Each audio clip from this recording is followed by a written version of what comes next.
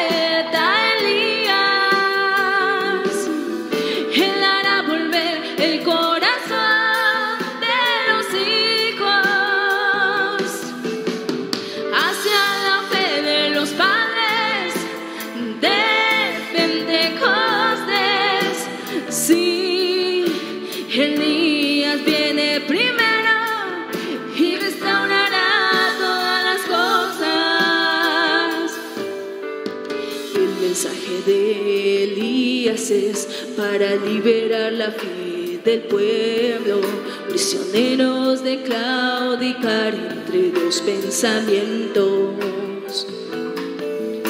sacando de escena el nicolanismo y balamismo, y después de la gran sequía por causa de Acab y Jezabel, traer de regreso soy lluvia temprana, lluvia tardía. Y mi pueblo nunca jamás será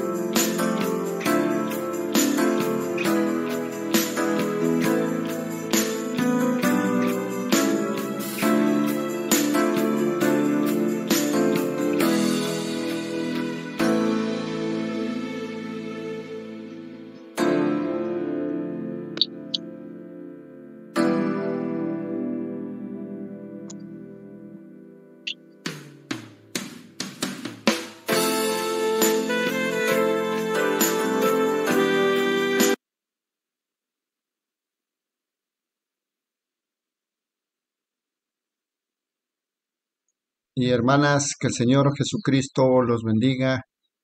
Vamos a dar inicio a un nuevo compañerismo. Vamos a lecturar los siguientes mensajes que nos quedan. Por lo tanto, vamos a pedirle la división a nuestro Padre Celestial. Señor Dios Todopoderoso, muchas gracias por este privilegio, por esta grande oportunidad, Padre, que tú nos das, Señor, una vez más nos acercamos a ti humildemente con la finalidad de tener un compañerismo contigo, Padre amado. De esa manera, hacer algo por ti, como está predicho, de que en este último tiempo tú necesitas una novia, oh Padre. Y lo más privilegiado es de que al final de este tiempo tú encontrarás a una novia gentil, oh Padre, porque los tipos y sombras se han dado, Señor, y tú enviaste para eso un profeta mensajero a revelar todos los misterios, Señor. Esa es la razón por la que nos concentramos aquí para pedirte la dirección tuya, asesorarnos, como dicen aquí afuera, Señor. Nosotros nos entramos es para instruirnos de tu palabra, alimentarnos de tu palabra, Padre. Te lo pedimos, Señor, que nos guíes en esta tarde y iniciamos este compañerismo. Los hermanos y hermanas que estarán en la escena también, Señor, guíanos con tu Santo Espíritu, Padre. Te lo pedimos, Padre, en el nombre del Señor Jesucristo. Amén, mis hermanos y hermanas. Vamos a continuar con el glorioso mensaje que estábamos dando, titulado Amor. Mensaje predicado en Saskatoon, Saskatchewan, Canadá, el día 19 de mayo del año 1957. Voy a continuar en los párrafos 44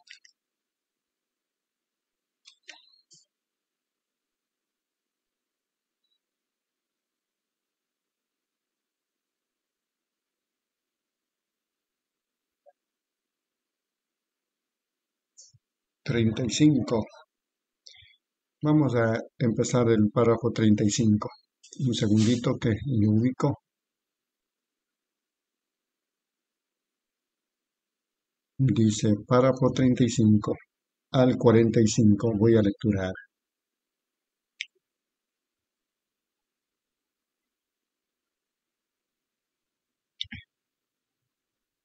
Párrafo 35 de este mensaje, Amor, mensaje predicado el 19 de mayo del año 1957, dice, y yo pensé, ese animal, oh, siento mucho que te moleste. Dije, yo no quiero matarte, yo soy un siervo de Dios. Yo voy en camino a orar por unas personas enfermas y olvidé acerca de esos letreros. Yo estaba hablando así como lo estoy haciendo en estos momentos, pero hubo una u otra cosa que sucedió. Yo no lo no tuve miedo, no le tuve temor a ese toro, así como no le tengo a mi hermano. Allí es donde está la iglesia. Ustedes siempre tienen miedo de que no vaya a suceder. Esa es la razón que no sucede. Cuando ese temor, el amor echa fuera el temor, cuando uno tiene amor, el temor desaparece. Pero mientras que ustedes tengan temor, el amor no puede operar. 36. Y cuando el toro hizo su embestida para venir hacia eh, mí, él llegó como a unos diez pies y se detuvo y extendió sus patas delanteras. Y él se venía y él se veía muy agotado mientras miraba en esta dirección y en aquella dirección. Y él se volteó y fue directo y se echó por allá en donde estaba. Yo crucé el campo y salí del pastizal. Él simplemente se quedó allí y me miró. Fue amor lo que quitó el temor y Dios me ayudó. Ahora, después que salí del pastizal y eso me dejó, entonces yo temblaba como una hoja. Pero mientras estuve en la presencia de Él, el temor había ido. Párrafo 37. Un día yo estaba cortando el césped del patio con una cortadora de césped y yo trataba de cortar el césped en el frente y cortaba unas cuantas porciones. Alguien llegaba para que orara por ellos. Yo tenía que correr, cambiarme de ropa y orar por ellos. Bueno, el frente estaba creciendo antes que yo pudiera llegar al patio, y era una calurosa tarde de verano. Gene, Leo y ellos, los muchachos aquí han estado en mi casa. Yo me quité la camisa. Nadie podía verme allí atrás en el patio. y estaba usando esta corta césped eléctrica y había olvidado que justo al final de la cerca había un nido de esas avispas colgando allí. Y yo estaba usando esta corta césped bastante rápida para cortarlo rápidamente y no me percaté de ellas. Y yo no estoy mucho en casa. Y yo choqué directamente con esas avispas. Tenía pensando quemarlas, sacarlas de allí. Y golpeé ese nido de avispas. Ahora, estando sin camisa y en solo un instante yo estaba todo cubierto de avispas. Cualquiera sabe que una sola puede matarlo a uno. Párrafo 38. El verano pasado un hombre fue picado en el labio de una abeja y eso le produjo una clase de problema en la sangre y murió antes que el doctor pudiera llegar allí. Una avispa lo tumbará de plano en el suelo cuando lo pica usted. Y allí estaba toda una colmena de ellos sobre mí. Pero ahora, en lugar de tener temor, no sé lo que ustedes van a pensar acerca de mí después de esto. No importa porque yo Estoy diciendo la verdad. Ustedes tendrán que darle cuenta a Dios por qué piensan al respecto. Esas avispas estaban todas alrededor de mí, y en vez de querer de pelear contra ellas, algo sucedió. Yo no tuve temor de ellas, yo las amé. Pensé, pequeñas criaturas de Dios, picar es la única manera que ellas tienen para protegerse. Esa es su ama, perdón, esa es su arma dada por Dios y yo hice que se salieran de su casa. Dije, ahora yo tengo que orar por los hijos de Dios enfermos. Yo soy el siervo del Señor. Ahora, en el nombre de nuestro Creador, Jesucristo, regresen a su nido, no las molestaré más. Y cuando yo me encontré con ustedes en el tribunal del juicio, esas avispas dieron vueltas alrededor de mí e hicieron un círculo e hicieron una línea recta y cada una de ellas regresó directo a su nido, porque la atmósfera había sido cambiada. Párrafo 39. Usted dice, hermano Branham, eso suena tonto. Esa es la razón que ustedes no conocen la Biblia. ¿No vinieron los, los leones en pos de Daniel y no lo pudieron tocar? La atmósfera fue cambiada ¿Pudo el fuego quemar a Sadrach, Mesach y Abednego? La atmósfera fue cambiada y el Dios de Daniel vive aún esta noche. Él es el mismo Dios. Ustedes hombres de negocio cristianos, ahora esta historia salió en su propia revista, Genio aquí, y leo allí, ellos estaban sentados en el porche. Yo los llamo a ellos mis ministros de estudiantes. Uno de ellos es un católico convertido, creo que el toro, el otro había sido metodista o algo así. Ellos vinieron a mi reunión en Anmod, Indiana. Estaban haciéndose pasar por FI. Ellos no creían que estas cosas eran correctas. Y sucedió que vinieron a casa una vez para averiguar si esas visiones eran correctas. Ellos son mis estudiantes. Párrafo 40. Ellos estaban sentados en el porche y yo les estaba enseñando. Una mañana de verano como a las 10, y resultó que miré y entrando por el pontón venía una vieja zarigüeya viniendo desde más o menos dos cuadras cruzando la carretera hacia un bosque. Yo soy el único que tiene una cerca por allí. Pasó junto a tres casas, entró por mi portón y allí venía. Yo salí corriendo y dije, esa zarigüeya tiene rabia. Habíamos estado hablando acerca de una jovencita de color que dio a luz un niño ilegítimo, lo envolvió en una cobija y lo asfixió y le pidió a un taxi que la llevara al río y ella se detuvo allí y arrojó el bulto al río y el taxista lo reportó y las guardias de él vinieron, la guardia es costera, mejor dicho, y recogieron el bulto era un bebé muerto, una jovencita muy bonita y su fotografía está en el periódico.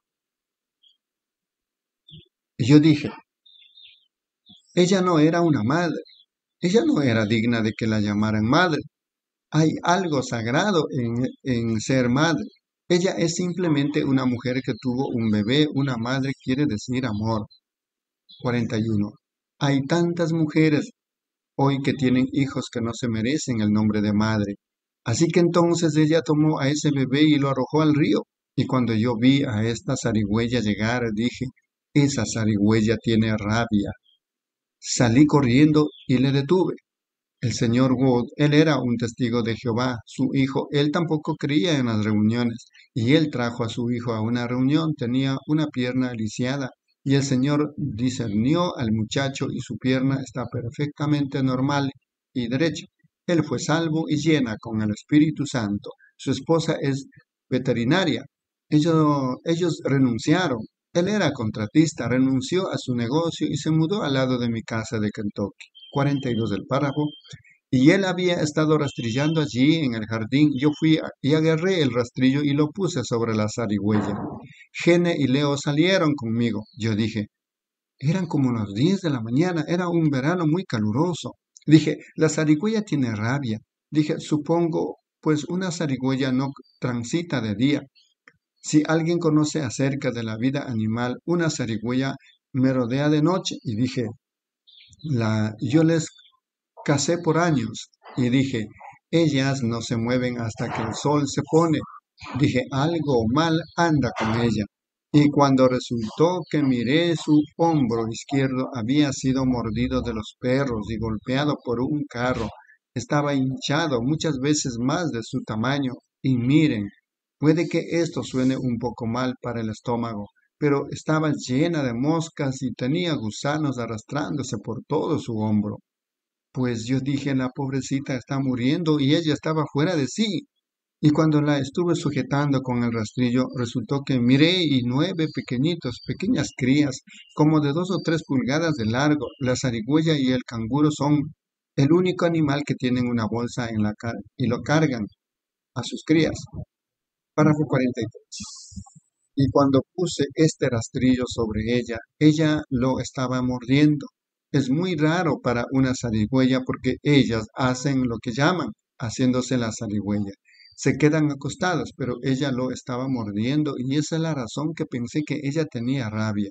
Y cuando yo vi esos nueve pequeños bebés zarigüeyas, oh, yo dije, ella es una madre. Dije, Gene, tú y Leo vengan acá. Quiero enseñarles una mejor lección. Dije, esta madre zarigüeya es mucho más madre que aquella mujer que ahogó a su bebé. Dije, este animal, a ella no le quedan 30 minutos de vida. Ella no puede vivir así, ella está muriendo. Pero ella pasará esos 30 minutos luchando por sus bebés porque ella es una madre, una verdadera madre. Ellos, ella los ama. Párrafo 44.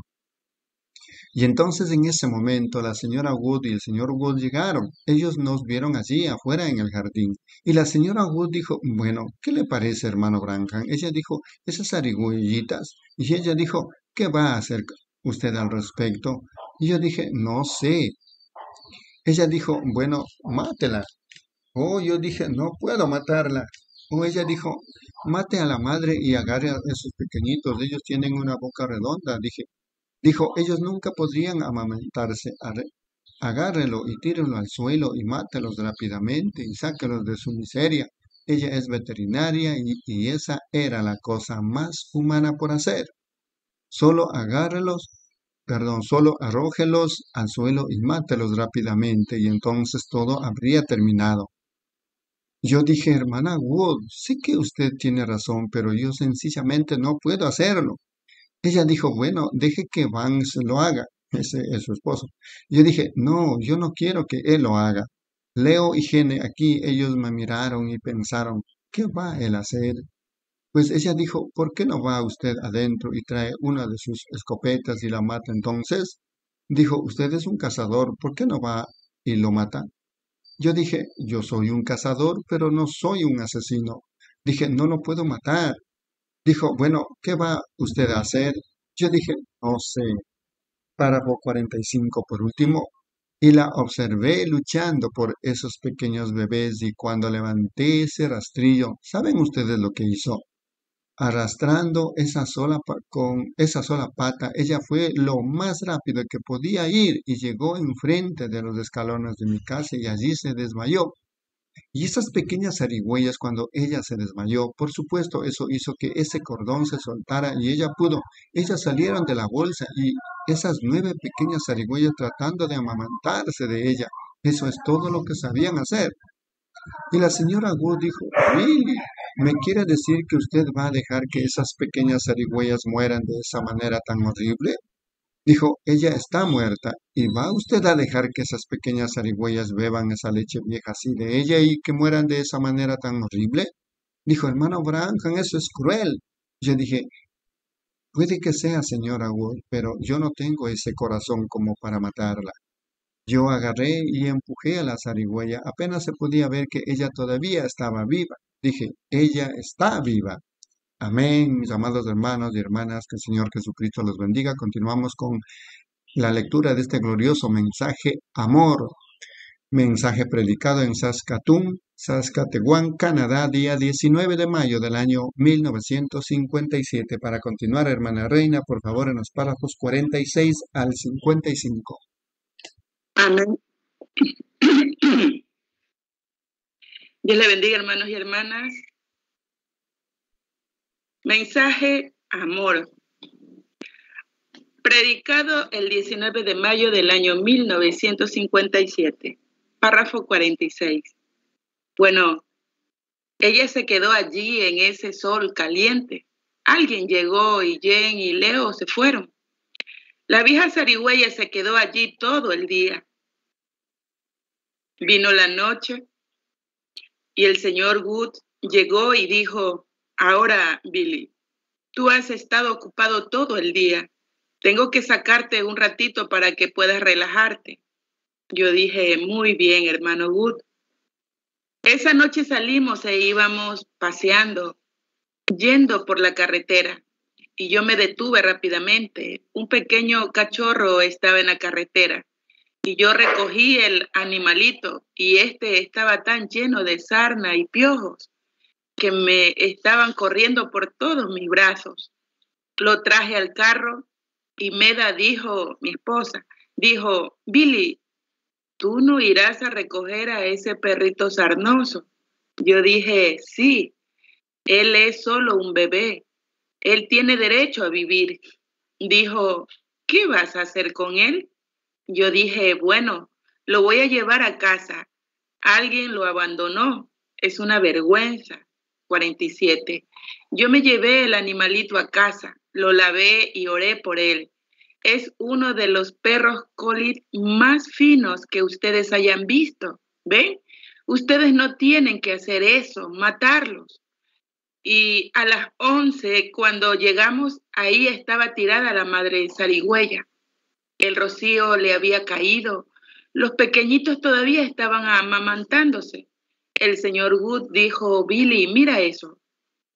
Tú bien sabes, hermano, que si esa zarigüeya se fuera a mover, se hubiera movido cuando oscureció. Yo dije, lo sé, hermano Wood, pero no puedo matarla. 48. Así que como a las 12, Billy Paul, mi hijo, había estado pescando. Entonces él llegó y la vieja zarigüeya aún estaba allí. La mañana siguiente, como a las seis, yo me levanté, miré por la rejilla para ver si había alguien allí afuera. No había nadie allí, entonces pensé, creo que saldré para encargarme de mi zarigüeya. Pensé en ella toda la noche cuando nos despertábamos. Yo salí y miré, allí estaba. Dije, bueno, me imagino que la pobrecita está muerta. Y salí y la empujé así con mi pie y ella no se movió. Esas pequeñas zarigüeyas aún estaban allí. Y en ese momento escuché la puerta cerrarse y mi pequeña Rebeca, una niñita muy espiritual, vio su primera visión recientemente. Y yo creo que el Espíritu de Dios está sobre la niña. Ella salió y dijo, papi, ¿está muerta esa zarigüeya? Yo dije, no sé, cariño. Ella dijo, papi, ¿qué vas a hacer con esa zarigüeya? Yo dije, cariño, yo no sé. Ella dijo, papi, ella es una verdadera madre. ¿No es así? Yo dije, seguro que sí, cariño, pero yo, ella dijo, ¿vas a dejar que sufra, papi? Yo dije, mira, cariño, Tú no deberías estar levantada. Entra a la casa con mamá. Y así que traté que se fuera del porche. empujé un poquito a la zarigüeya con el pie. Vi que ella movió su pata un poquito y pensé, bueno, ella todavía está tendida allí, sin duda que sufriendo. 49. Bueno, entré al estudio, al lado, y me senté, puse mis manos arriba, así, y comencé a frotarme la cabeza. Pensé, no sé qué hacer con esa zarigüeya. Tal vez, quizás, no quiero que la maten, porque ella es una madre, pero no sé qué hacer con ella. Estaba frotando mi cabeza así y algo dijo, yo pensé que tú habías predicado acerca de ella ayer. Tú dijiste que ella era una verdadera madre y tú sacaste un tema de ella. Yo dije, verdaderamente hice eso. Y dijo, bueno, como una madre muriendo, como una verdadera dama, ella ha permanecido frente a tu puerta por 24 horas esperando su turno para que se ore por ella. Yo dije, bueno, yo no pensé, ¿qué pasa conmigo? ¿Estoy hablando solo? Pensé, ¿con quién estaba yo hablando? Pues pensé, ese debe haber sido Dios. Párrafo 50. Bueno, abrí la puerta y salí. Sacudí mi cabeza y pensé, pues yo estaba hablando con alguien y alguien estaba hablando conmigo, pero no hay nadie aquí. 51. Ahora, ¿se pueden imaginar cómo se sienten? Y salí afuera y la vieja zarigüeya. Yo dije, Padre Celestial, yo sé que tú diriges a la gente, pero los animales también son tuyos. Un día tú hablaste a través de una mula. Tú conoces cada gorrión que cae en la calle. Y si tú, oh Dios, enviaste a esa pobre zarigüeya ignorante un animal allá y los perros la mordieron toda para que yo pudiera orar por ella y yo no lo sabía, perdóname Señor por no entender. Yo dije, si ella es una madre, para que se ore por ella junto con estos pequeñitos de esa, de manera que ella pueda criar a sus bebecitos. Y si tu amor, su amor de animal, te ha tocado a ti y tú enviaste a ese animal mudo, el cual no tiene alma, si tú enviaste a esa zarigüeya aquí para que se orase por ella, te pido, oh Señor Dios, permite que se haga tu voluntad y sana a la zarigüeya. Ahora, esto es sorprendente, pero cuando terminé de orar y levanté la mirada, esa zarigüeya estaba parada sobre sus pies. Ella tenía sus pequeñas zarigüeyas todas reunidas. Esa cola se movió de lado y caminó con esa pata lisiada tan derecha como pudo hasta el portón. La pequeña Becky estaba parada allí, yo puse mi brazo alrededor de ella. La zarigüeya miró hacia atrás como para decir, gracias Señor, y se fue directo por la carretera con sus bebés hacia el bosque. Párrafo 52. Dios en el cielo sabe que esa es la verdad. Eso fue impreso alrededor del mundo y es la verdad. Los periódicos lo publicaron, los hombres de negocio lo publicaron. ¿Por qué? fue Dios. Él sabe. Y si esa vieja, si Dios pudo guiar a esa zarigüeya hasta allá para que se orase por ella por causa de que ella ama a sus bebés, ¿cuánto más responderá Él la oración por usted, que es su hijo? Es amor, hermano. El truco es el amor. El amor es lo que lo hace es algo valiente que da el paso al frente. Dios quiere que usted tome amor y sea valiente con ello. No amor y guardarlo para sí mismo. Despliegue su amor, demuestre su amor, demuestre su fe por medio de sus obras. Allí lo tienen. Demuestre que usted ama a Dios. 53. Quisiera decir esto ya para terminar. Esta gran historia de Muchos de ustedes, hombres y mujeres aquí, más o menos de mi edad, la recuerdan. Solía estar en los libros de la escuela. Se olvida tan rápido. Esa fue la historia de un gran héroe en Suiza. Mencionen su nombre y la gente suiza lloraría ahora mismo allá en las montañas. Arnold von Wickerling. Muchos de ustedes lo recuerdan a él en sus libros de la escuela. Un día cuando Suiza estaba acorralada, su pequeña economía estaba en peligro. Los invasores, hace como 400 años, llegaron allí como un enjambre de abejas y ellos agarraron sus pequeñas hoces de mano y guadañas y piedras y lo que pudieron para ir al valle a defender sus hogares. Y ahí venía ese ejército marchando, como una pared de, de ladrillos, armados con lanzas, bien entrenados, cada hombre marchando sin perder el paso. Y acá estaban parados estos pobres suizos acorralados. No había nada que ellos pudieran hacer. Estaban absolutamente desesperados e indefensos, con todos aquellos bien entrenados. Entre paréntesis, eran excedidos por los millares. Eran como una pared de ladrillos avanzando. ¿Qué podían hacer? Eh? ¿Qué podían ellos hacer? 54. Finalmente, un solo hombre, por amor a su país, Arnold von Wickerling, dio un paso al frente. Él dijo, hombres de Suiza, este día yo voy a dar mi vida por Suiza y este día yo salvaré a Suiza. Sus compañeros le dijeron, Arnold von Wickerling, ¿qué harás?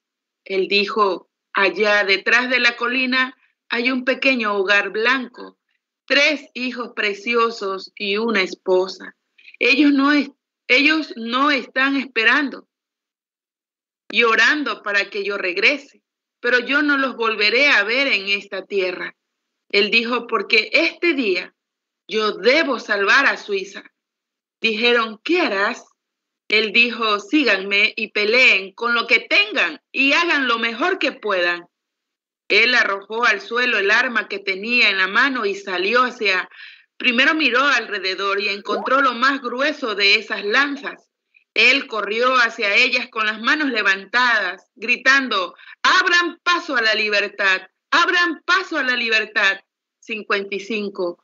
Y mientras corría, muchos de ustedes conocen la historia, y mientras corría hacia ellas, Aproximadamente 100 lanzas apuntaron para atraparlo con la punta de esas lanzas. Y cuando él llegó cerca de ellos, agarró una brazada de ellas y las clavó en su pecho y murió. Tal despliegue de heroísmo y amor por su país puso en fuga a ese gran ejército y esos suizos vinieron con garrotas y echaron a ese ejército fuera de su país. Y desde entonces nunca han tenido una guerra. Ese despliegue rara vez ha sido igualado, rara vez ha existido. El año pasado, donde si el Señor lo permite, estaré en las próximas semanas allá en Suiza otra vez Solo mencionen su nombre y observen a la gente llorar allá en las montañas. Ellos saben que sus bosques tan finos y su seguridad hoy en día fue porque un solo hombre los amó a ellos y desplegó su amor. Amén. Dios le bendiga, hermanos y hermanas. Amén. Amén, hermana Reina, Dios le bendiga. Continuamos con este glorioso mensaje, amor, mensaje predicado en Saskatoon, Saskatchewan, Canadá, día 19 de mayo del año 1957. Continuamos, hermana Rosalia, Dios le bendiga, párrafo 56 al 65. Amén, hermanos. Continuando con el mensaje, amor, párrafo 56. Ese fue el acto de un gran héroe pero, oh, eso no fue nada, amigo. Un día cuando la raza de Adán estaba toda arrinconada, los hijos de Adán, Dios les había enviado leyes y profetas y ellos no la guardaron, no lo quisieron escuchar. Y ellos estaban todos arrinconados con enfermedades y supersticiones y dudas y temores. Hubo uno que salió del cielo, el Hijo de Dios. Él dijo, voy a ir a la tierra para dar mi vida por la raza caída de Adán. De tal manera amó Dios al mundo que dio a su Hijo unigénito, Y cuando él vino a la tierra, él miró alrededor y vio en dónde estaba el mayor temor del hombre. El más grande de sus temores era la muerte. El hombre, entre tanto que él está sano y bien, él puede blasfemar y andar de mujeriego, pero dejen que él llegue a la hora de su muerte. Allí estaba. Y él encontró lo más grueso de las lanzas y se abalanzó a la muerte y dio su vida como un sacrificio, desplegando así el amor de Dios por la raza caída de Adán. Párrafo 57. ¿Qué dejó él para nosotros los predicadores? Él dijo, vaya a Jerusalén y esperen allí hasta que sean investidos con poder de lo alto. Y cuando el Espíritu Santo haya venido sobre ustedes, ustedes me serán testigos tanto en Jerusalén, Judea, Samaria, Zascatón y hasta lo último de la tierra. Y con el arma que Él nos ha dejado, Él nos dijo que le diéramos a la enfermedad y al pecado, y que estas señales seguirán a los que creen hombres y mujeres, es hora que tomemos el arma que nuestro héroe del amor de Dios nos ha dejado y que salgamos allá afuera y peleemos con la ignorancia y las supersticiones y la formalidad y que derribemos los muros del enemigo y despleguemos ese amor verdadero y valiente en que creemos. Dios y su palabra a tal grado que la enfermedad sea sanada y los demonios sean derrotados y los ciegos vean y los sordos oigan Dios me ayude a hacerlo mientras que me quede aliento en el cuerpo. Párrafo 58. Desplegar el amor que yo siento por el hombre que murió por mí. Que ustedes hagan lo mismo mientras inclinamos nuestros rostros un momento para orar. Señor Jesús, no hay amor como el amor de Dios. No pudiera haber nada que pueda alguna vez igualarlo. Cuando estábamos impotentes y sin esperanza, tú moriste en nuestro lugar de tal manera amó, nos amó Dios que dio a su Hijo unigénito para que todo aquel que cree en Él no se pierda, mas tenga vida eterna. Yo te pido que tu gracia divina y la presencia del Espíritu Santo, como dijo Arnold von Winkelried, el héroe de Suiza, peleen con lo que tengan. Ahora, Señor, tú no, no nos has dado palos y piedras para pelear, sino el bendito Espíritu Santo en la mansedumbre y bondad de Cristo, en el poder de su resurrección, con su ser aquí con nosotros ahora, el mismo ayer, hoy y por los siglos, para reducir a nada las cosas del mundo. Y que Dios instaure su reino eterno. Concede, Señor, esta noche que estas cosas puedan ser manifestadas en nuestra presencia. Lo rogamos en el nombre precioso de Jesús. Amén. Párrafo 59. Ahora, mientras ustedes miran hacia acá, una cosa es hablar de algo y otra cosa es hacer algo. Un hombre puede decir cualquier cosa que él desee, si él quiere mentir al respecto y simplemente hablar. Pero cuando Dios habla, Dios confirma lo que él dice. Dios hace real las cosas de las que él habla.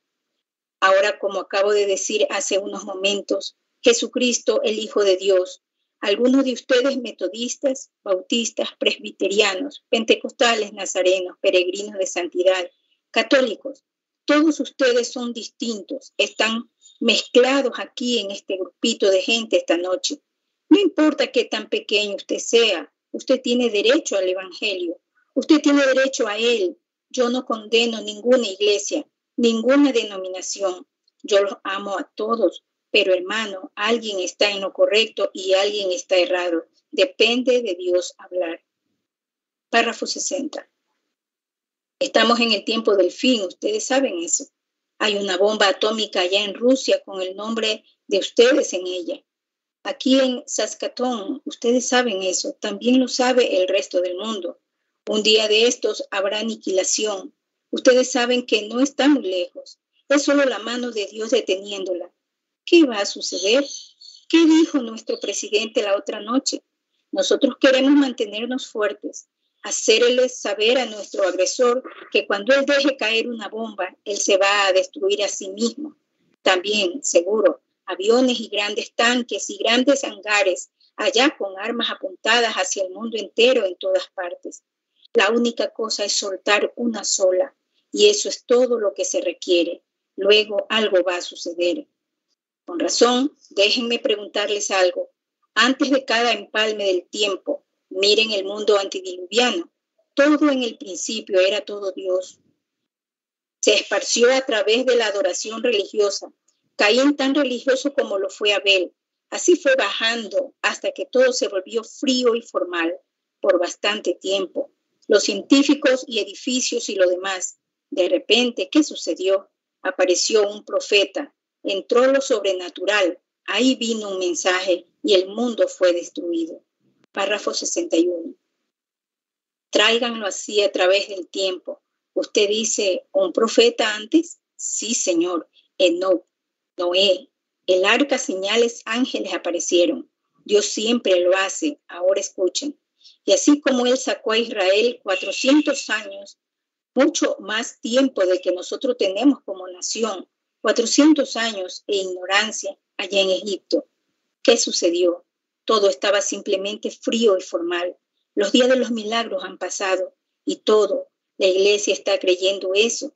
De repente se levantó un profeta, apareció un ángel en una zarza ardiendo, salieron señales y maravillas, y Dios sacó a Israel y destruyó a Egipto. Párrafo 62. Luego ella se enfrió otra vez. A través de los años, después de un tiempo, era casi el tiempo para que Jesús naciera. ¿Y qué sucedió? Se levantó un profeta, Juan el Bautista. Señales y maravillas empezaron a aparecer. El Hijo de Dios fue crucificado. Ella se enfrió. Pasamos por un espacio de tiempo ahora ¿Qué es? Está en el tiempo del fin otra vez. ¿Qué ha sucedido? Profetas están apareciendo, señales y maravillas están aconteciendo. Nunca se supo de ello en el mundo. Nunca había sucedido en dos mil años. Las cosas que han ocurrido aquí en Saskatoon. Correcto. Dos mil años desde que eso ha sucedido. Señales y maravillas. Mensajes saliendo. Billy Graham, Oral Roberts, grandes hombres predicando duro por todas partes. Y América se sienta con sus brazos cruzados y el resto del mundo dice, ustedes montón de fanáticos, los periódicos publicando los artículos más sucios que ellos pueden obtener, Dios mostrando señales y maravillas exactamente. Él dijo, Él es el mismo ayer, hoy y por los siglos.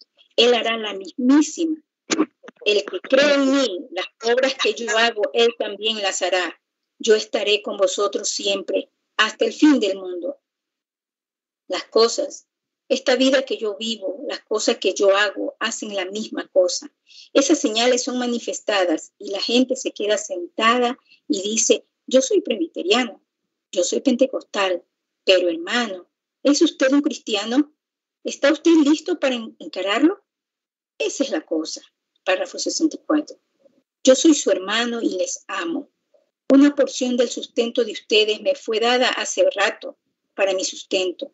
Y yo realmente sería un canalla si me parara en este púlpito y rehusara declarar el consejo de Dios, o si les dijera algo errado. Pero como uno que ama su alma y como uno que ama su ser, yo les digo a ustedes que Jesucristo es absolutamente el mismo ayer, hoy y por los siglos. Él se levantó de los muertos y está vivo en esta noche, aquí mismo en este edificio. Ahora, bueno, usted dice, yo no lo veo a Él. Nosotros hablamos acerca de esta luz cuando ella apareció. Muchos de ustedes la han visto. Está en Washington, D.C., patentada como el único ser sobrenatural jamás fotografiado. Ustedes conocen la historia al respecto. Ha sido alrededor del mundo a través de los periódicos. ¿Qué fue? es el mismo ángel de Dios que guió a los hijos de Israel. Usted dice, Jesús, sí, Señor, Jesucristo el mismo ayer, hoy y por los siglos. Ahora observen solo un momento antes de que comencemos. Por último, el párrafo 65. ¿Quién fue, lectores eruditos de la Biblia? ¿Quién fue el que sacó a los hijos de Israel de Egipto? Fue el ángel del pacto. ¿Es correcto eso? ¿Quién es el ángel del pacto? Jesucristo. Él era una columna de fuego. Él estuvo aquí en la tierra. Él dijo, yo vine de Dios y voy a Dios. Él vino aquí y se manifestó en carne cuando Él regresó. Usted dice, ¿Él volvió a una luz otra vez? Claro que sí. Así dice la Biblia, ¿verdad? Lea donde Pablo iba camino a Damasco y una luz que se apareció ante él oscureció. incluso los ojos. Los que estaban parados allí nunca lo vieron. Pero Pablo la vio. ¿Usted cree que Pablo la vio? Aquellos que estaban parados a su lado no la vieron, pero Pablo sí. Incluso le cegó los ojos. Él estuvo ciego por varios días. Él dijo, ¿quién eres tú, Señor? Él dijo, yo soy Jesús. ¿Dice eso la Biblia? Entonces, si Él se la ha levantado de entre los muertos, perdón. Entonces, si Él se ha levantado de entre los muertos, aquí está su fotografía científicamente, que Él es el mismo, aquí están sus obras manifestando, Él es el mismo, pero la razón que ustedes lo están mirando es porque una persona educada como yo les está trayendo el mensaje a ustedes. No miren al mensajero, miren el mensaje del que yo estoy hablando. Amén, hermanos. Dios les bendiga. Amén, amén, hermana. Dios le bendiga la lectura, recordando estamos lecturando este glorioso mensaje y es el gran privilegio para todos nosotros lecturar estos mensajes. Amor, mensaje predicado en Saskatoon, Saskatchewan, Canadá, día 19 de mayo del año 1957. Continuamos, hermana Erika, Dios le bendiga en los párrafos 66 al 75. Dios le bendiga, hermanos y hermanas. Ah, vamos a continuar con el mensaje Amor del párrafo, párrafo 66. Ahora, Cristo está aquí y yo les declaro a usted. Él ha resucitado de entre los muertos. Él les ama, Él desea su alma, Él quiere salvarlos, Él quiere hacerlos feliz a ustedes, Él quiere llevarlos a la gloria. Él solo puede hacerlo si ustedes se lo permiten. Él no puede hacerlo en contra de su voluntad. Así que ahora, si Él ha resucitado de los muertos y una mujer que normalmente yo hago subir a la gente a la plataforma, una por una, ustedes me han visto hacer eso, el Señor lo ha cambiado. Aquí mismo en Saskatoon, esto ha funcionado. Funcionará esta noche. No hay una persona en este edificio a quien yo conozca, que conozca por... Sí, perdónenme, realmente vi a la hermana Softman y la hermana Norman al hermano Norman sentado juntos ahí. Esos son todos los que conozco. ¿Cuántos aquí saben que yo no los conozco? Levanten sus manos. Así. Que ustedes saben que yo no los conozco. Levanten sus manos, sea quien sea, en cualquier parte. Párrafo 67. Ahora, si Jesucristo es el mismo ayer, hoy, por los siglos, y, él, y si él estuviera parado aquí con este traje puesto que él me dio, y usted dijera, Señor, la Biblia dice que tú eres un sumo sacerdote, que pudiera ser tocado por el sentir de mis debilidades, ¿cree usted que pudiera tocar su manto como lo hizo la mujer y que él se levantaría, se voltearía y le diría lo que usted hizo? ¿Usted cree que él podría hacer eso si él es el mismo ayer, hoy, por los siglos? Claro que sí, si Él es el mismo. El ciego Bartimeo, quien clamó frente a la puerta, Jesús no podía oír su clamor, pero él sintió su clamor y él se dio vuelta para ver lo que era. Mire, mire atrás, mire a través de la Biblia y vea si no es así. Miren la mujer en el pozo, como él le dijo a ella acerca de sus maridos, y ellos dijeron que esa era la señal del Mesías. ¿Cuántos saben que los samaritanos sabían que esa era la señal del Mesías? Levanten sus manos, porque Jesús supo lo que estaba mal con la mujer. Párrafo 68. ¿Cuántos saben que los judíos sabían que esa era la señal del Mesías? Claro que sabían. Cuando Natanael fue y buscó a Felipe, buscó a Natanael y Natanael, vino y Jesús dijo, he aquí un israelita en quien no hay engaño. Él dijo, ¿cómo me conoces, rabí? Dijo, antes que Felipe te llamara, cuando estabas debajo del árbol, yo te vi. Él dijo, tú eres el Hijo de Dios, tú eres el Rey de Israel. Un testigo allí mismo por medio de los judíos, pero por supuesto los ortodoxos almidonados esos miembros de las grandes iglesias, ellos dijeron, ese es Belzebú, es, él es un adivino. Jesús dijo, si ustedes hablan eso en contra mía, les será perdonado. Pero cuando el Espíritu Santo venga y haga las mismas cosas, una sola palabra contra él jamás será perdonada, ni en este ciclo ni en el ciclo venidero. ¿Cómo ve ¿Ven cómo se ha vuelto la gente? Dios los tiene a ellos sobre un libro albedrío. Ellos pueden levantarse a irse. Ellos pueden hacer cualquier cosa que deseen, pero el judío está puesto delante de todos nosotros. Ahora, eso es verdad.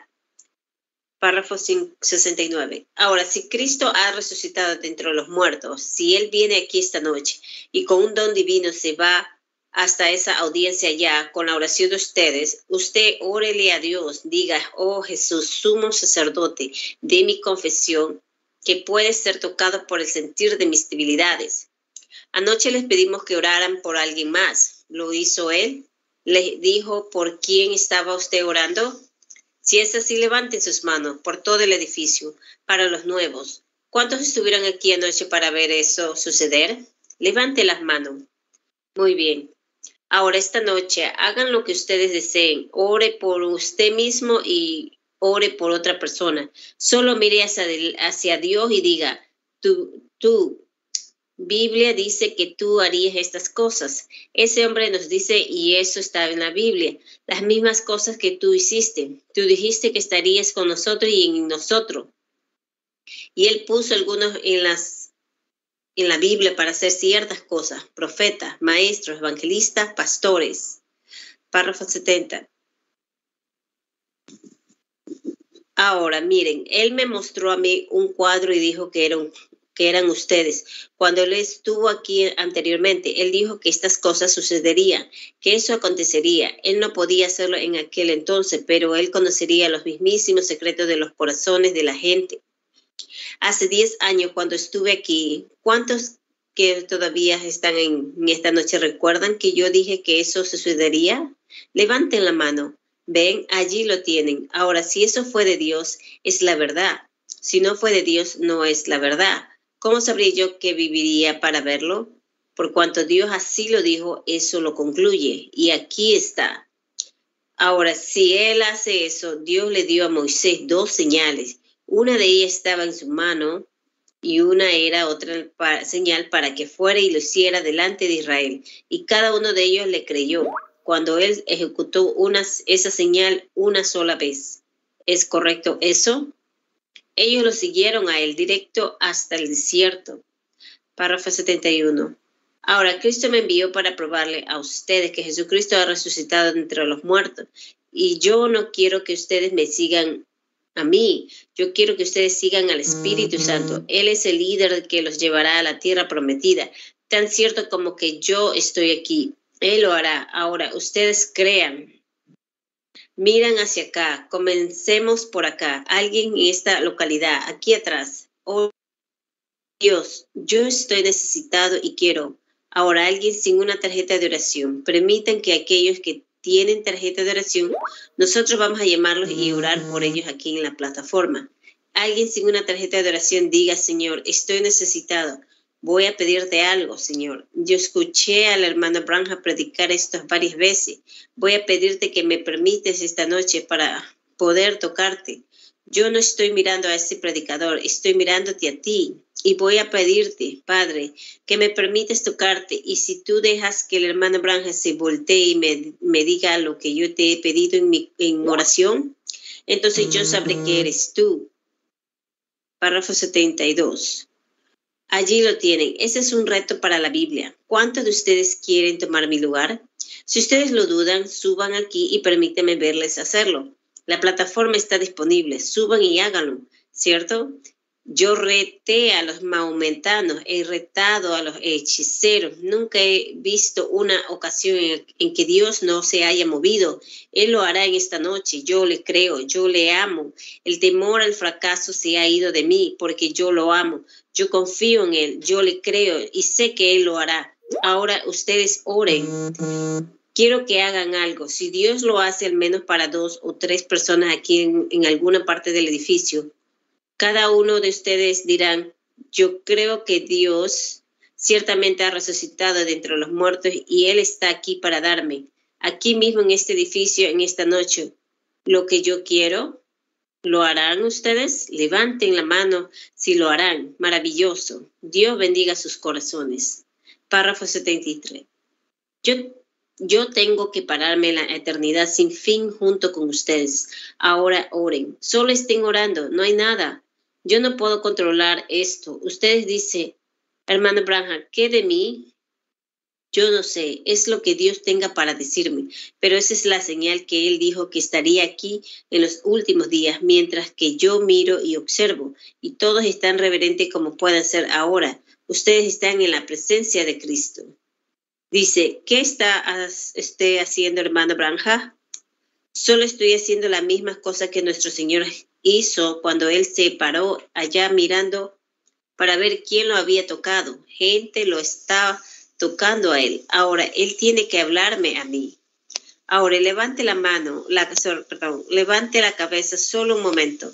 Ahora, esta luz que está en la fotografía está colgando justo aquí y un hombre está sentado en una silla de rueda allí, algo así, por acá al final.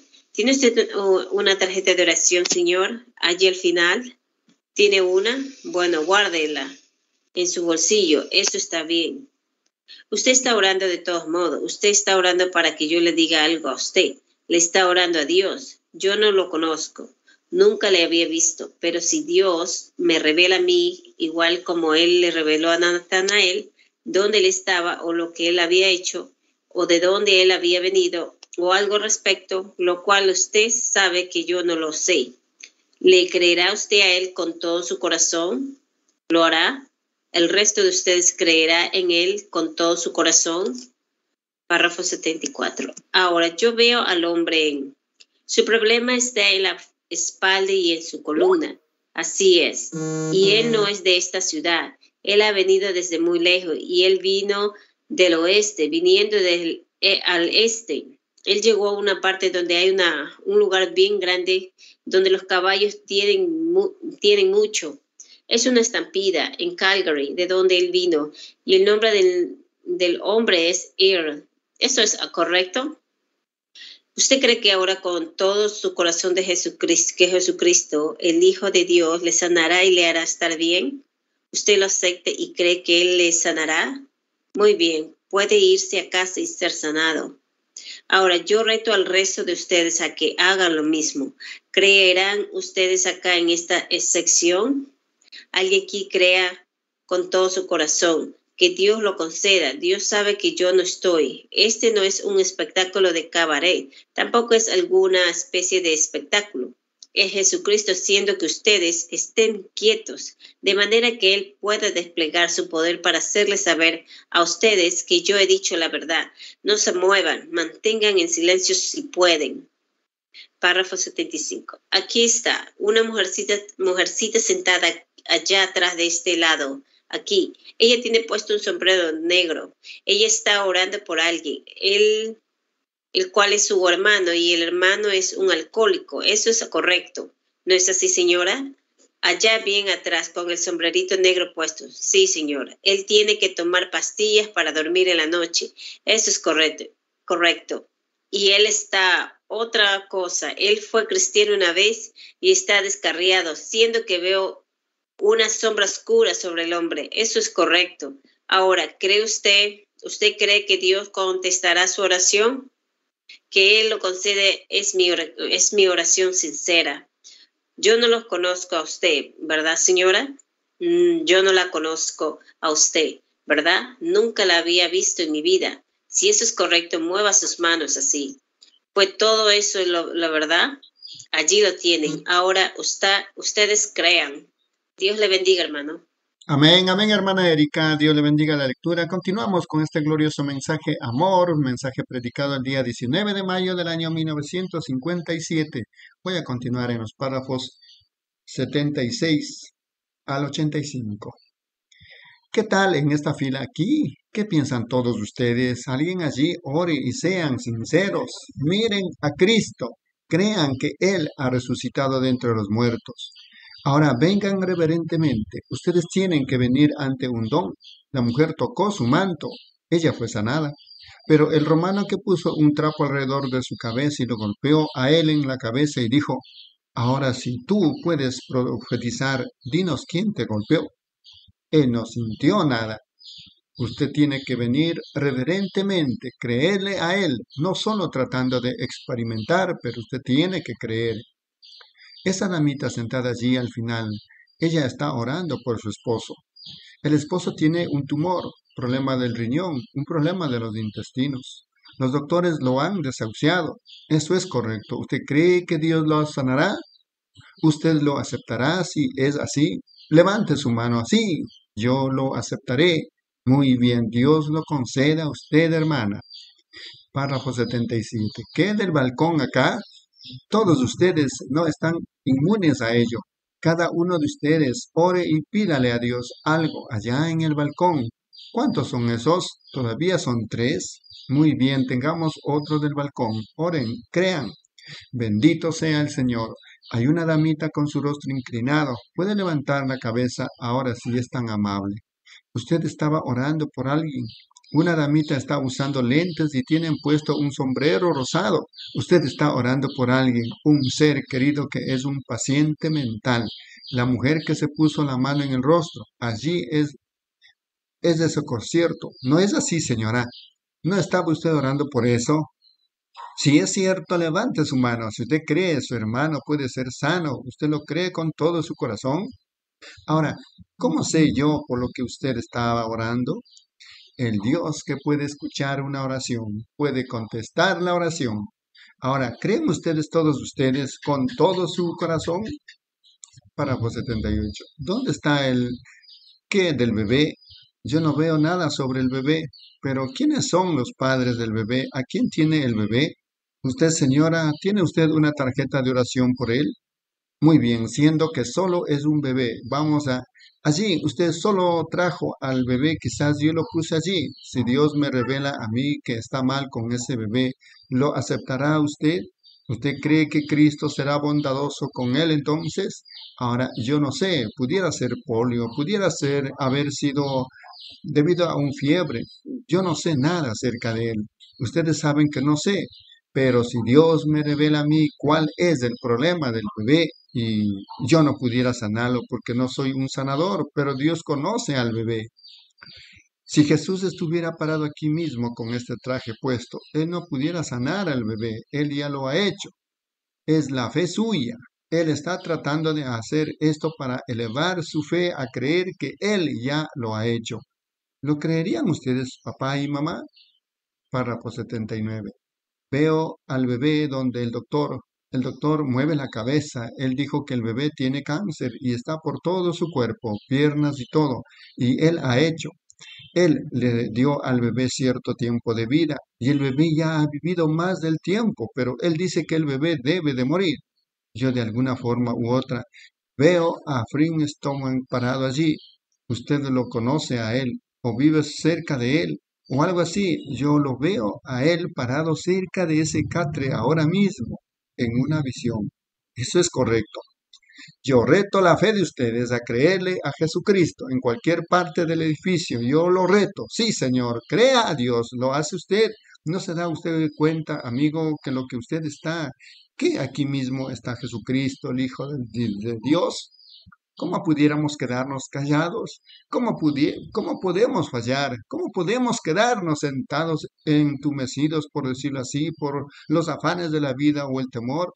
Eso debiera hacer que todo lisiado se ponga sobre sus pies. Eso debería llevar a todo pecador al arrepentimiento. ¿Qué más puede hacer Dios? Nada sino aparecer en un cuerpo físico. Y entonces las oraciones de ustedes serán demasiado tarde. ¿No se dan cuenta de eso? Inclinemos nuestros rostros por un momento.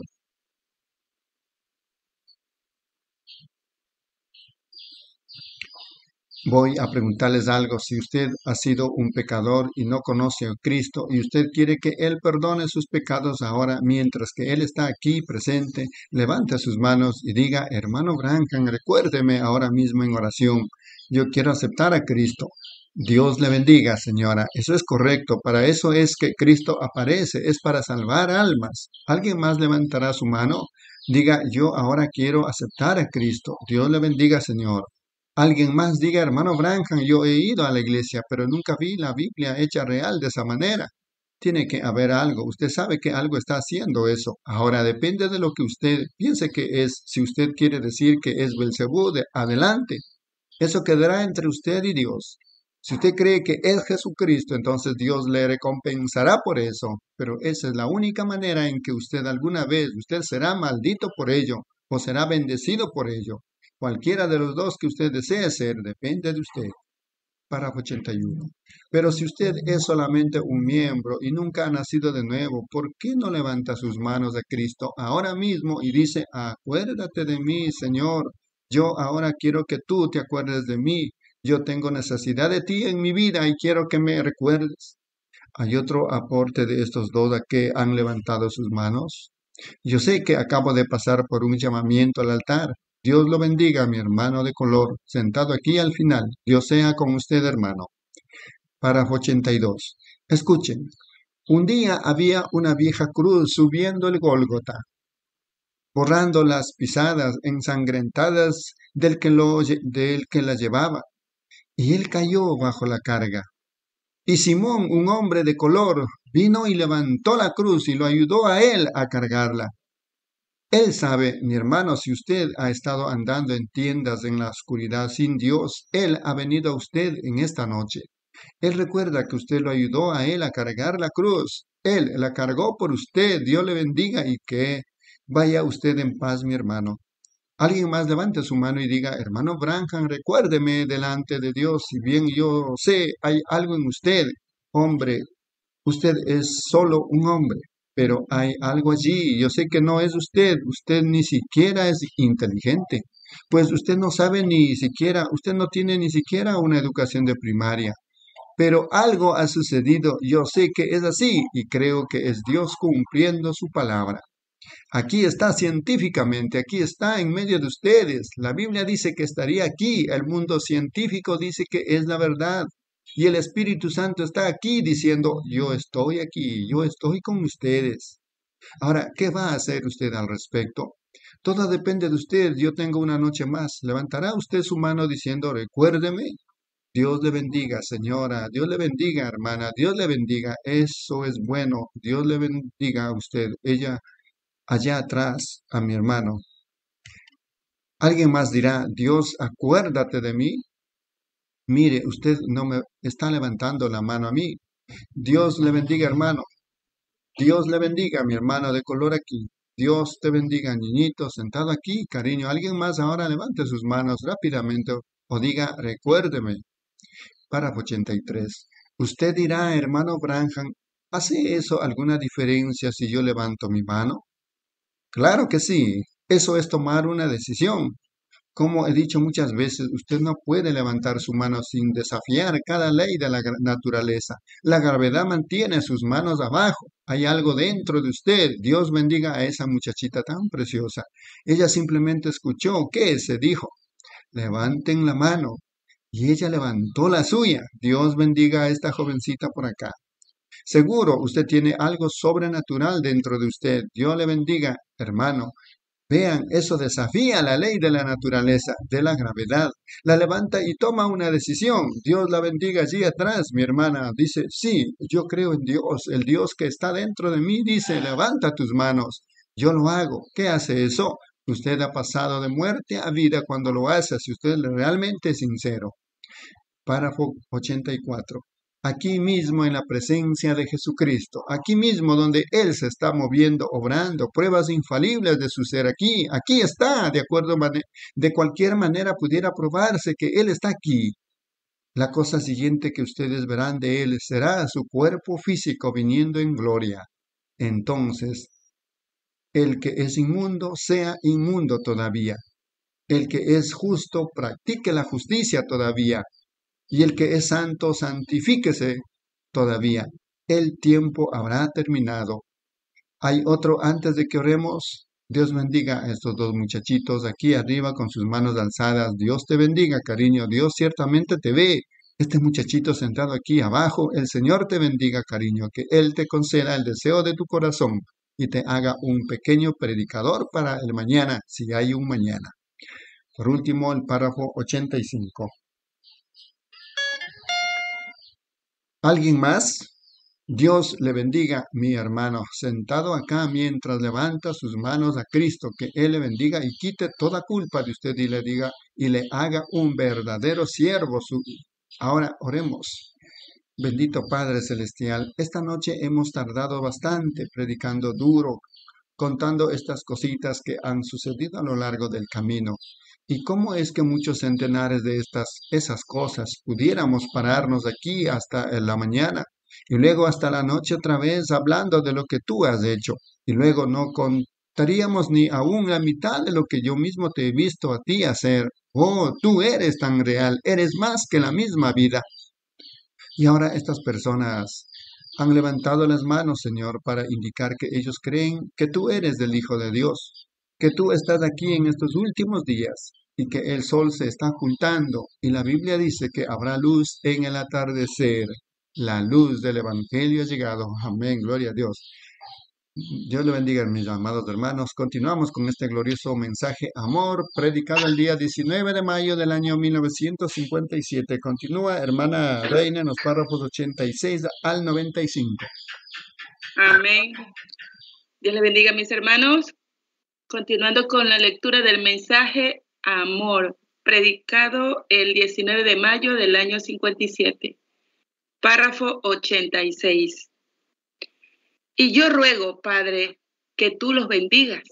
Hay hombres jóvenes, hombres ancianos, tanto el indio, el hombre de color, como el anglosajón, los niñitos, todos. Manténlos a todos en tu bendita presencia, Señor. Llena sus corazones con tal amor por ti, que el mundo no pueda apartarlos más de ti. Concédelo, Señor. Tómalos bajo tu cuidado y dales el el bautismo del Espíritu Santo. Arma sus almas con amor y que ellos vayan y ganen a otros para Cristo. Incluso a los niñitos en sus escuelas, el anciano en su trabajo, donde quiera que sea, o cortando el césped en su jardín al lado de su vecino. Oh Dios, yo te ruego que tú los ayudes a cada uno. Ellos son regalos de amor que tú les habías dado a Cristo. Nadie puede arrebatarlos de la mano de mi Padre, y ellos son puestos por la mano del Padre en la mano de Cristo. Y ninguno puede venir si mi Padre no le trajere, y a todo el que venga le daré vida eterna. Concede, Señor, que ellos tengan vida eterna a partir de esta misma hora, pues yo los encomiendo en tus manos como los frutos del mensaje en el nombre de Jesucristo. Amén. 87. Ahora, los que levanten la mano, usted que está sentado al lado de ellos, extienda su mano. Y que yo había de orar por los enfermos y que si era sincero, Dios los sanaría. ¿Cuántos saben que eso estaba escrito en mi libro hace 10 años y me oyeron decirlo? Él dijo, si tú fueres sincero, eso llegará a suceder. Tú tomarás la mano de la persona y sabrás qué enfermedad tienen ellos. ¿Cuántos recuerdan eso? Luego él dijo, si fueres sincero, conocerás el mismísimo pensamiento de sus corazones y tú serás capaz de decirles el mismísimo discernimiento de sus corazones. ¿Cuántos saben que Él dijo eso? Yo no podía hacerlo en ese entonces, pero sucedió. Él dijo, en este ministerio tuyo que te ha sido dado, dará inicio a un avivamiento mundial. ¿Lo ha hecho? Por supuesto que sí. Oral Robert, todos estos salieron de allí Así es. A, a Allen, el grupo entero de ellos salió de eso. Y miren, casi en cada nación, África, la India, Palestina y en todas partes, hay grandes servicios de sanidad llevándose a cabo en esta misma hora por todo el mundo. Jesús viene, eso es correcto. 88. Yo los miro a ustedes, ustedes personas allí que están en la línea. ¿Ustedes creen? Ahora, tomarlos a ustedes uno por uno, conocer y decirles ir y escudriñar a fondo como yo acostumbraba hacerlo antes de que yo tratara de echar fuera un espíritu inmundo. Yo primeramente examinaba bien ese caso para ver si había algún pecado en la vida de ellos, primero, antes de hacerlo, porque ellos pudieran haber hecho algo malo y Dios me haría a mí responsable por hacer eso. Pero ahora Él es. Y la gente se quejaba. Ellos decían, usted no ora por bastante. Miren esa línea allí ahora. Nunca en una reunión de Oral Robert obtiene más que eso. Ustedes que han estado en las reuniones o, o en las del resto de ellos o en las del hermano Allen, de ninguna manera, ustedes no pueden hacerlo. Pero yo tengo el discernimiento y todavía tengo a tantos así. Esa es la gracia de Dios. 89. Muy bien, sean reverentes ahora. Lo único que yo puedo hacer es orar y poner las manos sobre usted. Les voy a pedir a todos que estén lo más quietos que puedan estar y que estén en oración. Antes que esta mujer venga a esta plataforma, sentada allí mismo, permítame mostrarles algo. La mujer está viniendo para que se ore por sordera ella es sorda. Yo pude sentir eso. Hay un espíritu sordo sobre la mujer, aquí mismo, sentada frente a mí ahora, y sabe que esa mujer tiene fe también. Quizás va a tener que irse en un momento. Voy a pedirles que inclinen sus rostros solo un momento. Oremos. 90. Levante su cabeza solo un momento. Mire aquí, ¿ve? ella dice tímpano roto. Ahora, vean todos reverentes por un momento. Amado Dios, con un tímpano roto, ¿cómo podría esta mujer oír el Evangelio? La fe viene por el oír, pero ¿qué si uno no puede oír?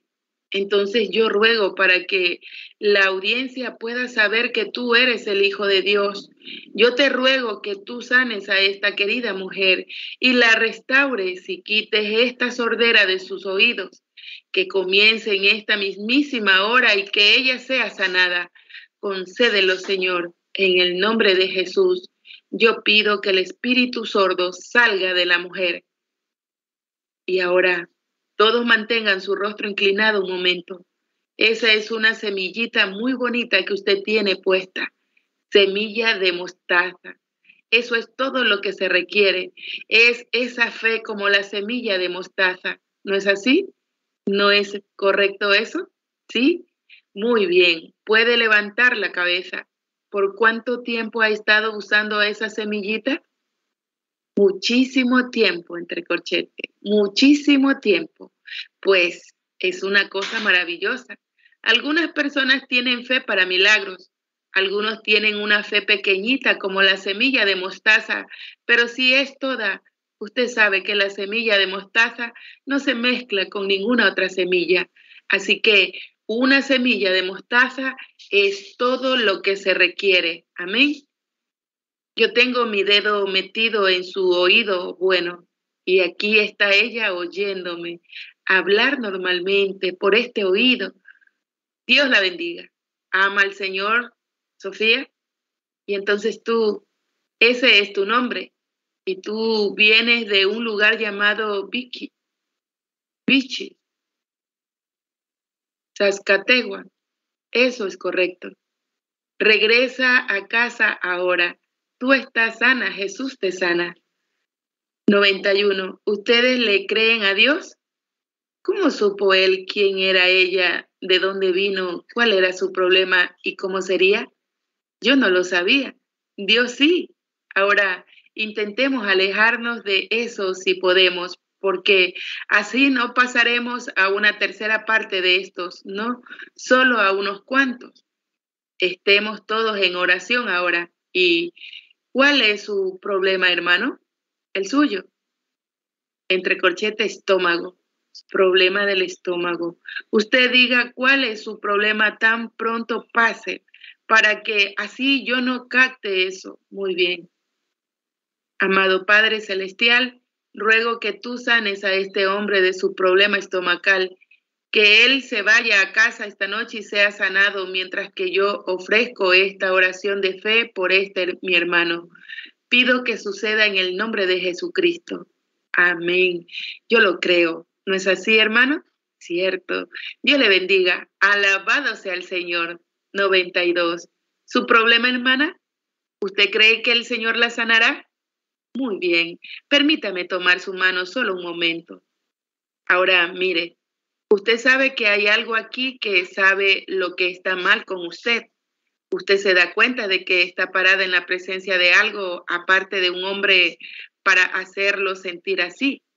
Ahora, si eso es correcto, levante su mano a la audiencia. Ciertamente, es esa unción. Es por eso que yo estoy hablando acerca de ella. ¿Ven? Eso es lo que está presente. Eso es lo que hizo a ese enorme animal detenerse. Eso es lo que hizo que las abejas se fueran para su nido. ¿Ve? Es el Espíritu Santo. Él sabe, Él conoce todo acerca de usted. ¿Usted cree que es el Espíritu Santo? Entonces usted puede pedirle cualquier cosa y Él lo concederá a usted y su nerviosismo y cosas así le dejarán. ¿Usted cree eso? Yo bendigo a esta querida mujer, Padre Celestial, en el nombre de Jesucristo, para su sanidad. Amén. Dios le bendiga, hermana. Reciba lo que pide. 93. ¿Y qué quiere Él? ¿Tú crees que Jesús te sanará de la diabetes, muchachito? ¿Tú crees que Él te sanará? Bueno, yo también lo creo, precioso. Amado Padre Celestial, por fe yo tomo a este muchachito y sabemos que cuando los niños reciben diabetes, si tú no los ayudas, es terrible. Pero yo ruego ahora, mientras lo llevo por la fe a las sombras de la cruz y le pido a Jesucristo, el Hijo de Dios, bendiga a este muchachito y quite la diabetes de él en el nombre de Jesucristo. Amén. Hijito, el gran ángel de Dios que se paró cerca del hermano Branja está aquí ahora mismo. Tú quizás no puedas verlo, pero está aquí. Tú reconoces eso. Tú eres bendecido. Dios te ha traído a su presencia. Ahora vete creyendo que se te quitará esa diabetes escríbeme y cuéntame al respecto. ¿Lo harás? Dios te bendiga, hermano. Muy bien. Párrafo 94. El muchachito, ¿tú crees que Jesús sana tus ojos? Inclina tu rostro junto conmigo. Jesús de Nazaret, mientras que este muchachito levanta la mirada aquí y con sus ojitos en la condición en que están, yo ruego que tú lo sanes, lo, restaures y quites de él esta cosa horrible y que sus ojitos estén normales y bien. En el nombre de Jesucristo, te pido que así sea mientras pongo mis manos sobre este inocente, demasiado joven para conocer el bien y el mal. Ruego que tú lo concedas en el nombre de Cristo. Amén. Ahora, ¿estás bien ahora? Tus ojitos están derechos, a más no poder. Mira hacia la audiencia allá para que algunas personas te puedan ver. Mira hacia acá, mira hacia acá, atrás. Ahora, ¿puedes bajar de la plataforma y estar sano? Digamos, gracias sean dadas a Dios. 95. ¿Usted cree que Dios le sanará, mujer? Ahora, mire, hermana, es más bien como una opresión. Solo permítame que le pregunte algo. Normalmente eso le afecta en la tarde cuando se pone peor, especialmente cuando el sol comienza a ocultarse. Usted tiene una sensación de cansancio extremo. A veces usted piensa que se va a volver loca. A usted se le caen las cosas cuando se le asusta. Eso es correcto. Yo no le estoy leyendo la mente, pero eso es cierto, ¿no es así? Muy bien, ahora ve, algo aquí la conoce a usted. Antes que usted viniera a esta reunión, usted estaba orando que si pudiera entrar en la línea, que usted lo iba a aceptar. Usted quería un punto en donde establecerse. Dijo usted dónde establecerse. ¿Es eso exactamente de lo que usted está hablando? ¿Es eso lo que usted ha estado creyendo y deseando y orando al respecto? Ahora, ¿cómo supe yo por lo que usted ha estado orando y diciendo allí abajo? ¿Supe antes que usted viniera lo que usted hizo en su casa? Algo aquí me dice eso a mí. ¿Es eso correcto? Ese es Dios. Él quiere sanarla a usted. Él lo hará ahora mismo. ¿Lo cree usted? Eso le dejará ahora mismo. No puede permanecer en su presencia. No, no puede permanecer allí. Le dejará. Pero ahora, si usted sigue creyendo, siempre se mantendrá alejado de usted. Si no, ve. Amén. Dios le bendiga, hermanos y hermanas. Amén. Amén. Reina, Dios le bendiga en la lectura. Continuamos con este glorioso mensaje. Amor, mensaje predicado el día 19 de mayo del año 1957. Continuamos. Hermana Rosalia, por favor, en los párrafos 96 al 105. Amén, hermanos. Continuando con el mensaje amor. Párrafo 96.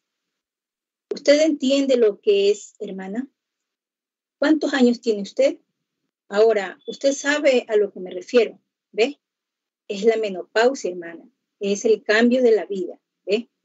Usted sencillamente tiene toda clase de sensaciones. Realmente no hay nada malo. Las hormonas están cesando en su cuerpo y este ya no las produce. No permita usted que el doctor le suministre ninguna hormona. Ese es el primer paso para contraer cáncer. Son células que ellos están introduciendo en usted no las tome, siga adelante, crea a Dios, que es el cáncer sino una multiplicación de células, una hormona es como lo que usted está haciendo, es como si usted ha estado consumiendo droga y luego se la quitan. Vaya, usted no sabe qué hacer, su cuerpo en realidad produce hormonas y ahora no las está produciendo más, ¿ve? Y eso es solo una cosa natural. Después de un tiempo habrá pasado pero ahora el diablo la volverá loca si él puede. Pero no deje usted que él lo haga. Mire a Cristo ahora mismo y sea sanada. Oh Dios, esta pobre mujer parada aquí, sus pobres bracitos moviéndose alrededor y sabiendo que el diablo está tratando de atraparla en su, en su garra. Tú, diablo, yo te ordeno en el nombre de Jesús que salgas de la mujer, déjala, y mientras que yo pongo mi mano sobre ella, como un creyente en Jesucristo, tú deja a esta mujer en paz en el nombre de Jesucristo. Párrafo 97. Ahora mire hacia acá, ahora se ha ido, ahora usted está tranquila, ahora usted se siente bien, ¿no es así? Levante la mano si eso es correcto. Sí, usted está sana, ¿ve? Amén. Ahora váyase a casa regocijándose. Digamos, alabado sea el Señor. ¿Qué sé yo? A usted, hermano, que si usted estuviera en esa condición, significaría algo para usted, eso no puede pararse en la presencia de Dios. Dios así lo dijo. Eso lo concluye. Tan cierto como Él lo conoce, Él conoce su corazón. Él dijo esas palabras. Él incluso dijo que Él tomaría la Biblia aquí. Y lo está haciendo, probándolo. Aquí está Él confirmándolo en todas partes. ¿Qué desea usted que Él haga por usted, hermano? ¿Cómo? El corazón. ¿Usted cree que Él lo hará? Dios Padre, en el nombre de Jesucristo, toca el cuerpo de este hombre en esta noche y quítale el problema del corazón y sánalo completamente. Lo pido en el nombre de Jesucristo. Amén. Dios le bendiga, hermano. Párrafo 98. ¿Usted cree que Cristo la pueda sanar, hermana? ¿Cuál es su problema en el que desea sanidad? ¿Usted cree que Él lo hará? Oh Señor bendito, mientras sostengo a esta querida mujer de la mano, orando con todo lo que sé, la oración de fe, Padre, y pido con amor en mi corazón por ti y amor por esta querida mujer. Oh, solo un ratito y ella tendría un bastón blanco en su mano, caminando por la calle. Concede, Señor, que nunca sea así, que ella sea sanada. Yo la bendigo en el nombre de Jesucristo, en cuya presencia estamos ahora. Amén. Dios le bendiga, hermana. ¿Usted cree que estará bien? Yo también. El Señor sea con usted y le bendiga. Párrafo 99. ¿Cómo está usted, señora? Un momento, algo está sucediendo en la audiencia, algo sucedió. Por favor, sean reverentes unos minutos. Cada uno de ustedes moviéndose, usted es un alma. Entre paréntesis, ¿ven ustedes? Usted es un espíritu y cada espíritu está sujeto a este Espíritu Santo aquí, ciertamente. Y mientras ustedes interrumpen o incluso piensan mal o algo, sucede algo, sucede. Usted dice, hermano Braham, ¿qué es eso? Pues, por supuesto que es la escritura. Miren, él no se ha ido. esta dama aquí, ¿me cree usted, señora? ¿Usted cree que yo soy el siervo de Dios? Yo nunca la había visto a usted en toda mi vida, ¿verdad? Somos completos desconocidos. Si Dios en el cielo me revela a mí la razón por la cual usted está aquí, para que la gente vea que usted solo es una mujer que subió aquí en la línea. ¿Creerá usted con todo su corazón? Sea usted el juez. Si él conoce, ahora yo no puedo sanarla. Si usted está enferma, yo tengo muy poco dinero. Si es finanzas, yo se lo daría a usted. Yo no la conozco a usted. Usted sabe que no. Yo nunca la había visto en toda mi vida. Y esta es la primera vez que nos encontramos. ¿Es correcto? Levante su mano ahora, audiencia. Audiencia, ahora, si Cristo es el mismo ayer, hoy y por los siglos, ¿qué acerca de esto? ¿Lo hará Él? Yo lo creo a Él. Yo le creo a Él. Párrafo 100. La dama tiene la sombra de la muerte. La muerte tiene cáncer. La mujer tiene cáncer. Hay una sombra negra colgando junto a ella y ese cáncer está en el colon, los intestinos, correcto. ¿Usted me cree ahora? Mire, entre más le hablara, más le diría. Es ese el mismo Señor que sabría cuál era el problema de la mujer. El mismo Jesús que le habló a aquella mujer para hallar su problema. Permítame decirle esto a usted, como él le dijo a Felipe de dónde él venía. Usted no es de esta ciudad. Usted es de un lugar llamado Edmonton, en Alberta. Usted es de Alberta y su nombre es la señora Parker. Eso es correcto, ¿no es así? Ahora puede irse y regocíjese y sea sanada en el nombre de Jesucristo. Párrafo 101. ¿Creen ustedes? Digan amén. Oren ahora. Mantengan sus rostros inclinados. Oren por estas personas. Venga, Señor.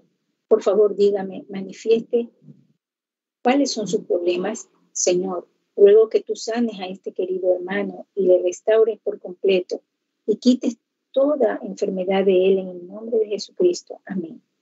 Dios le bendiga, mi querido hermano. Eso, créalo ahora con todo su corazón y usted, por supuesto, tú tienes una pequeña joroba aquí atrás. ¿Tú crees que Dios te sanará? Señor Dios, ruego que tú sanes a este muchachito y lo restaures en el nombre de Jesucristo que esta pequeña joroba en su espalda comience a bajar y sea sanado en el nombre de Cristo. Amén. Mira aquí, hijo, tú eres un caso imposible para el doctor. Tú sabes eso. Él no puede hacer nada por ti, pero ¿me creerás tú que como el siervo de Dios te probaré algo? Cuando llegues a casa esta noche, toma una cuerda y mide la cintura como esta aquí. Púntala y luego la cortas y mañana en la noche antes del servicio, ve y toma esa misma cuerda y mídete otra vez y corta lo que encogiste así alrededor para mañana en la noche y ponla sobre mi púlpito. ¿Harás eso? Muy bien. Anda pues. Párrafo 102. ¿Tú crees que Dios te sanará, mi hermano? Oh Dios, yo ruego en el nombre de Cristo que tú sanes a este hombre y le hagas saludable en el nombre de Jesús. Amén. Dios te bendiga, mi hermano. ¿Tú lo crees?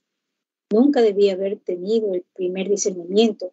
Hace que todos lo quieran, ¿ven ustedes? Y yo no puedo hacerlo y hacer que pase toda esta línea aquí. Muy bien, hermano. ¿Usted cree que Dios lo sanará? ¿Usted cree que si yo oro, que algo está aquí ahora que usted sabe que es Cristo? Padre Celestial, yo ruego que tú sanes a este hombre y lo hagas saludable. Sánalo. Dios amado, y yo pongo mis manos sobre él y lo bendigo en el nombre de Jesús. Amén. Dios le bendiga, hermano. Vaya creyendo. Ahora, bienaventurados son los que nunca le han visto a Él, sin embargo creen. ¿Usted cree, hermano, que Dios le sanará con todo su corazón? Oh Jesús, Hijo de Dios, yo pongo mis manos sobre el hombre y te ruego que tú lo sanes y le hagas saludable. Mientras yo bendigo a este pobre hombre querido, Dios le dé a él una completa salud para la gloria de Dios. En el nombre de Jesús lo pido. Muy bien, hermanos, vaya creyendo ahora, no dude, sino crea. 103. ¿Cómo está usted, hermana? Creo que usted es la damita que aceptó a Cristo el otro día. ¿De qué desea usted que él la sane? ¿Usted quiere que Dios la sane de eso? Condiciones que sí. Esta es una jovencita católica, la católica canadiense francesa, que le entregó la vida a Cristo la otra noche, la primera reunión mía en la que ella ha estado alguna vez. Ella está nerviosa ahora. Oremos. Amado Padre Celestial, sabemos que esta damita tendrá que confrontar una cosa tremenda allá. Ella tiene que enfrentarse a un muro de oposición. Ella dice que dejó dos niños pequeños en casa. Ellos se estaban levantando con sarampión. Oh Dios, pero la fe impactó su pequeño corazón. Ella estaba resuelta. Ella quería ver a Jesús. Ella es como la reina de Sabá. Ella iba para ver si aquello era correcto. Tú la salvaste, Señor. Yo estoy parado aquí ahora y ella está en tu presencia y yo estoy en tu presencia. Y ella la siente y sabe que tú estás aquí. Yo bendigo a esta mujer, que ella regrese a su hogar feliz, que todas sus enfermedades y los niños estén todos bien, que ella viva una vida feliz, pacífica y guíe a todos sus seres queridos al Señor Jesús. Yo la bendigo en el nombre de Cristo. Amén. Dios la bendiga, Danita. Vaya y reciba lo que usted ha pedido. Espero verla pronto en Dawson Creek. El montón, en el montón, Dios le bendiga. Párrafo 104. Yo creo que usted es su esposo, es decir, su hermana. Usted me dijo la otra en el restaurante. ¿Cuál es su problema? Oh, dolor en el costado y en su espalda. Usted también era católica canadiense francés anteriormente. Dios es bueno, ¿no es cierto? Oh querido Jesús, este hombrecito ha conducido una larga distancia. Él ha venido a través de muchas pruebas difíciles. Él ha llegado aquí a la plataforma con su hermana y él quiere ser sanado. Él tiene un dolor en su costado y algo que no está bien en su espalda. Y a medida que este grupo de creyentes se dirigen de regreso a Colombia Británica o a donde quiera que son ellos, que las ruedas del automóvil sencillamente tarareen un canto y que las alabanzas de Dios suban en ese carro a medida que ellos viajan en el gozo de Dios, que todas sus enfermedades se vayan, que nuestro hermano sea sanado y dé testimonio para la gloria de Dios. Lo pedimos en el nombre de Jesús, mientras yo lo bendigo para este propósito. Amén. Dios te bendiga, mi hermanito. Quiero verte por allá realmente ardiendo para Dios. Tú conoces a mi amigo Chris Bird. Él está aquí en algún lado. Debo verlo mañana. Qué bueno, eso está bien, muy bien. Dios le bendiga, mi hermano. Párrafo 105 por último. ¿De qué desea usted que Dios le sane? Oh, Dios le bendiga, mi querido hermano. Yo ruego que el Señor Jesucristo venga a este hombre ahora, restaurándolo completamente, sanándolo de todas sus enfermedades y dándole una salud completa. Yo lo bendigo para su sanidad en el nombre de Jesús. Amén. Dios le bendiga, hermano. Yo creo que todo terminará. ¿Usted no? Asma, un muchachito de aspecto muy fino. ¿Tú amas a Jesús? Ahora, si Jesús estuviera aquí, Él pondría sus manos sobre ti y tú sanarías. Pero Jesús subió al cielo y envió al Espíritu Santo. Y eso es lo que tú ves moviéndose en el edificio esta noche. Ahora, el hermano Branham vino para orar por ti. ¿Tú crees que Jesús te va a sanar? Amado Padre Celestial, yo bendigo a este muchachito de buen parecer parado aquí. Asma bronquial. Oh Satanás, tendrías que ser cruel para afligir a un niñito. Ahora deja al niño, yo te ordeno por Cristo, el Hijo de Dios, que salgas de él y que esta asma se vaya y no vuelva nunca más. Amén. Dios te bendiga, cariño. Yo creo que todo eso desaparecerá. Tú no la tendrás más. Dios le bendiga, Señor. Usted también cree eso, ¿verdad? Eso está muy bien. Denos noticias del muchachito. Amén, hermano. Dios le bendiga. Amén, amén, hermana Rosalia. Dios le bendiga la lectura. Qué preciosos momentos que estamos lecturando y este glorioso mensaje que Dios nos ha puesto en el camino. De esta manera vamos a concluir este mensaje predicado en Saskatoon, Saskatchewan, Canadá, día 19 de mayo del año 1957. Concluye, hermana Erika, en los párrafos 106 al 115. Dios le bendiga, hermanos. Vamos a continuar con el mensaje amor del este párrafo 106. Muy bien, hermana. ¿Usted cree que Dios la sanará hoy, ahora? Bendito Dios. ¿Cómo está, como está, como esta iglesia del Dios viviente aquí esta noche, centenares de personas orando en esta hora. Nosotros juntos Estamos uniendo nuestras oraciones por esta gente enferma. Es la madre de alguien, es la hija de alguien, es alguien que está necesitado. Yo te ruego que tú la sanes, Señor, mientras yo la bendigo con mis manos sobre ella. Pues la Biblia dice esto, estas señales seguirán a los que creen. Sobre los enfermos pondrán sus manos y sanarán. Nosotros lo creemos, Padre, en el nombre de Jesús. Amén. ¿Usted lo cree, querida hermana? Con todo mi corazón yo lo creo. Dios sea con usted. Párrafo 107. ¿Usted cree que, usted cree, mi hermano, cree que Dios le sanará? Solo mire la gente que está aquí orando por usted. Esas personas están todos orando. Yo simplemente estoy solo, solo uno orando por ustedes. Cristo está aquí, usted está en su presencia, Él lo conoce a usted, Él le ama, Él quiere que usted esté bien. Oh Jesús, a medida que este querido hombre viene, verlos venir, Señor, con esa mirada sincera en su rostro, ellos quieren recibir alivio, Señor. Tal vez el doctor se ha esforzado y Dios, te damos gracias por él, pero quizás él no los pudo ayudar. Y ellos están viniendo ante el gran doctor de doctores, el gran médico, y con la oración de fe, él prometió sanar al enfermo. Y esto yo ruego por mi hermano con todo mi corazón, en el nombre de Jesús. Amén. Dios le bendiga, mi hermanos. Ahora vaya y sea sano en el nombre de Cristo. Para, párrafo 108. Ahora, ¿usted cree con todo su corazón? Entonces, amado Padre Celestial, mientras esta joven se para y yo sostengo mi mano, su mano para hacer contacto con él, diciendo, sobre los enfermos pondrán las manos. Yo pido con esta oración de fe que tú sanes al, hombre y que él salga de aquí esta noche regocijándose y sabiendo que él, ha él ha encontrado exactamente lo que Dios dijo.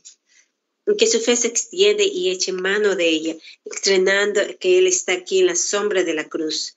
Lo pedimos en el nombre de Jesús. Amén.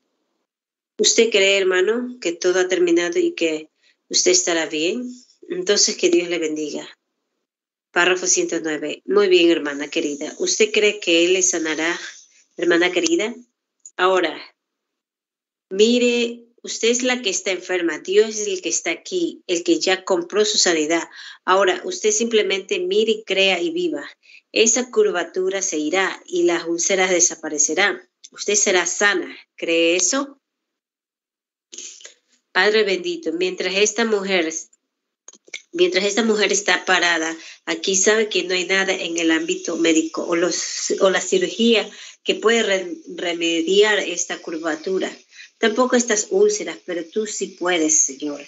Yo lo traigo a ella en la sombra de la cruz en el nombre de Jesucristo, con esta oración de fe y que yo ofrezco por ella para su sanidad. Amén. Ahora, hermana, aquí está la manera de aceptarlo. Yo estoy en la presencia de Dios. La oración de fe ha sido dicha. Si otros pueden ser sanados, yo también puedo. Gracias, Señor. Está concluido. Ahora nunca permita que más nada se interponga allí. Usted será sanada. Dios le bendiga. Párrafo 110.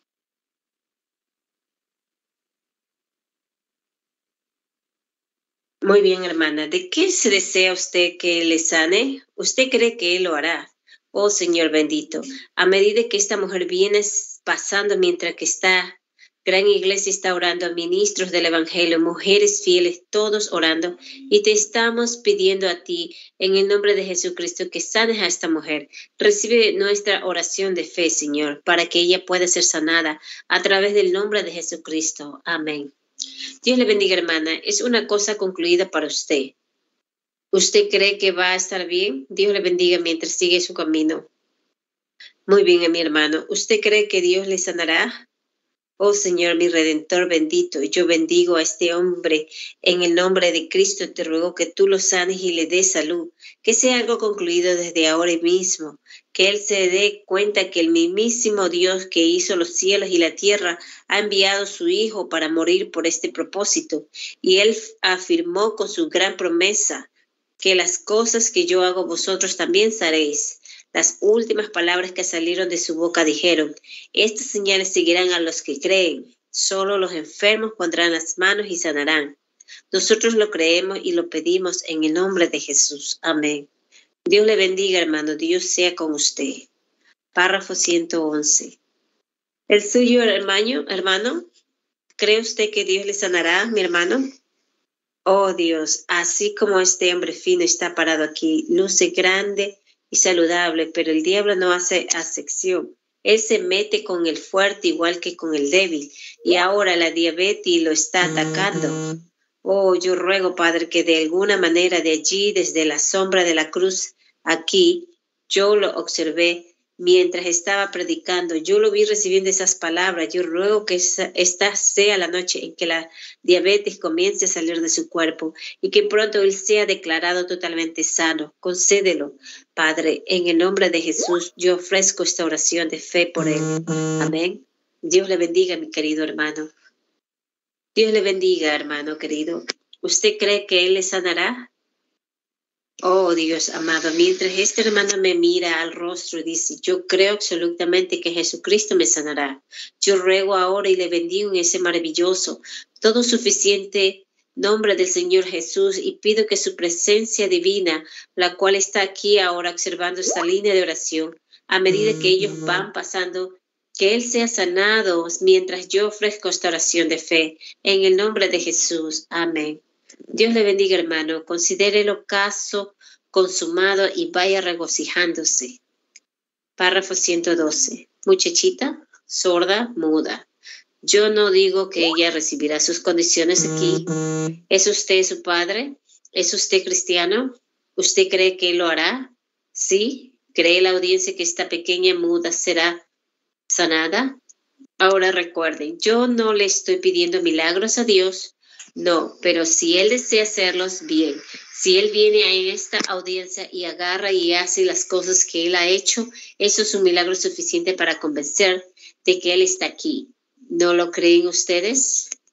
Pero la razón que estoy pidiendo que estos niñitos sean, ellos son demasiado pequeños para tener fe para ellos mismos. Si ellos tan solo pueden decir una palabrita, cuando Elías envió a Giesi, para que mirara la nube, él dijo, yo veo una como del tamaño de la mano de un hombre. Él dijo, yo oigo el sonido de una lluvia abundante. Si Dios tan solo le da a esta muchachita, vi a la mujer sorda ya en la audiencia, moviéndome la cabeza. ¿Puede usted oírme bien ahora, hermana? Si puede, mueva su mano. Allí está ella sentada aquí mismo en la línea de enfrente. Hace un rato era sorda y ahora oye. ¿Ven? Les damos gracias a Dios por eso. Párrafo 113. Ahora, eso es, pidamos. Oremos por su sanidad. Voy a pedirles algo, amigos. Ustedes están tratando tanto como mis oraciones. Es su Padre y yo. Rogamos, vamos, voy a poner mis manos sobre ella ahora y pedir esta bendición. Ahora, la unción del Espíritu Santo está aquí. Es difícil, no, es difícil la línea, no, para impedir esos discernimientos, pero estoy tratando de pasar la línea. Se hace tarde. Ahora, inclinemos nuestros rostros, sea muy reverente. ¿Qué si está fuera su muchachita, su hermana? Ahora, sean muy reverentes. Ahora, hermano, yo no sé si él lo hará. Si él lo hace o no, lo creeremos de todos modos. ¿No es así? Muy bien, deme la niña. párrafo 114. Ahora, precioso Señor, esta querida y dulce amorcito parada aquí, con sus ojitos café, mirando a través de su cabellito rubio, rojizo, una niñita hermosa, tal vez algún día será la esposa de algún ministro, si tú tardas, pero el diablo ha hecho el mal, él ha tomado esta condición y la ha puesto sobre ella, y yo te ruego que tú la sanes, oh Dios, para animar el corazón del Padre y para animar a la niña. ¿Quieres tú darles su sanidad solo un poquito ahora, Señor, para que ellos vean que la señal de la nube está allí y que tú les estás haciendo? La niñita está en esta condición, nunca podrá oír nada. Es, sabemos que ella no sabrá qué hacer con ello, pero el Padre lo, la instruirá. Y ahora, con mis manos sobre los oídos de esta, de esta niña, comisionado por un ángel de Dios, yo le ordeno al espíritu sordomudo que deje a la niña en el nombre de Jesucristo. Párrafo 115. Ahora quiero que todo rostro inclinado, todo ojo cerrado y estén bien, estén en oración solo un momento. Solo quiero examinar a la niña para ver lo que nuestro Señor ha hecho. Ahora asegúrense de mantener sus rostros inclinados, pues el Espíritu pudiera venir a ustedes. Recorchete el hermano Branja truena sus dedos. El hermano Branja palmea sus manos. ¿Oyes eso? Di pa, papi, papi, di papi, papi. Ahora, recuerden que ella no había oído nunca. Guarden mucho silencio solo un momento. Yo realmente creo que la niña puede oír y voy a intentar hacer hablar solo un momento. Sean muy reverentes. Papi, abre tu boca. Pa, pa, papi, pa, abre la boca.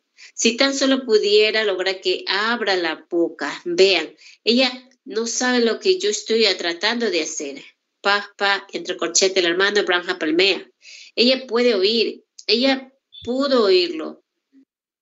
Entre corchete el hermano Branja Palmea otra vez. Ahora, ¿quién es ese? Papi, abre, papi, papi, papi, solo las palabras, palabras no claras. El hermano Branja Palmea. Dios le bendiga, hermanos.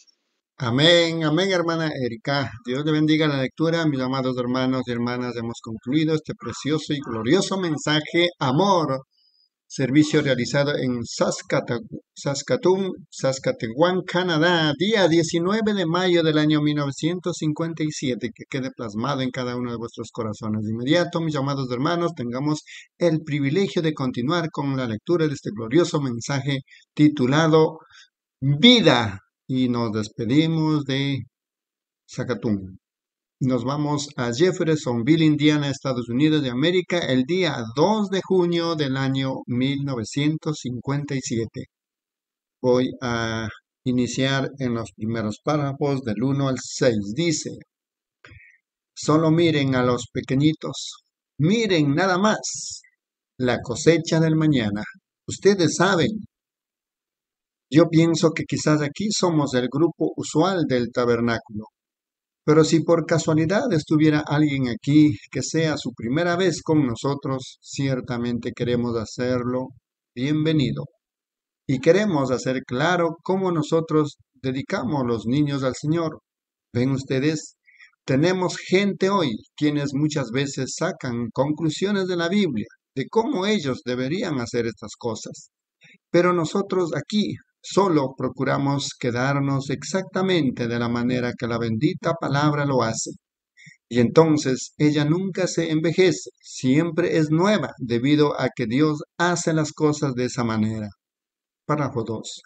Ahora, cuando nuestro bendito Salvador estuvo aquí, el Señor Jesús, cuando le trajeron a Él a los pequeñitos para que hiciera la obra, o el honor que debería ser dado a los pequeñitos, bueno, Él los tomó en sus brazos y los bendijo. Y Él dijo, Dejad a los niños venir a mí, porque de los tales es el reino de los cielos. Y le trajeron a los niños y los dedicó. En otras palabras, ellos solamente se los dieron a Él, y Él los bendijo. Y ahora, a nosotros se nos deja como iglesia continuar la obra que Él hizo cuando Él estuvo aquí en la tierra.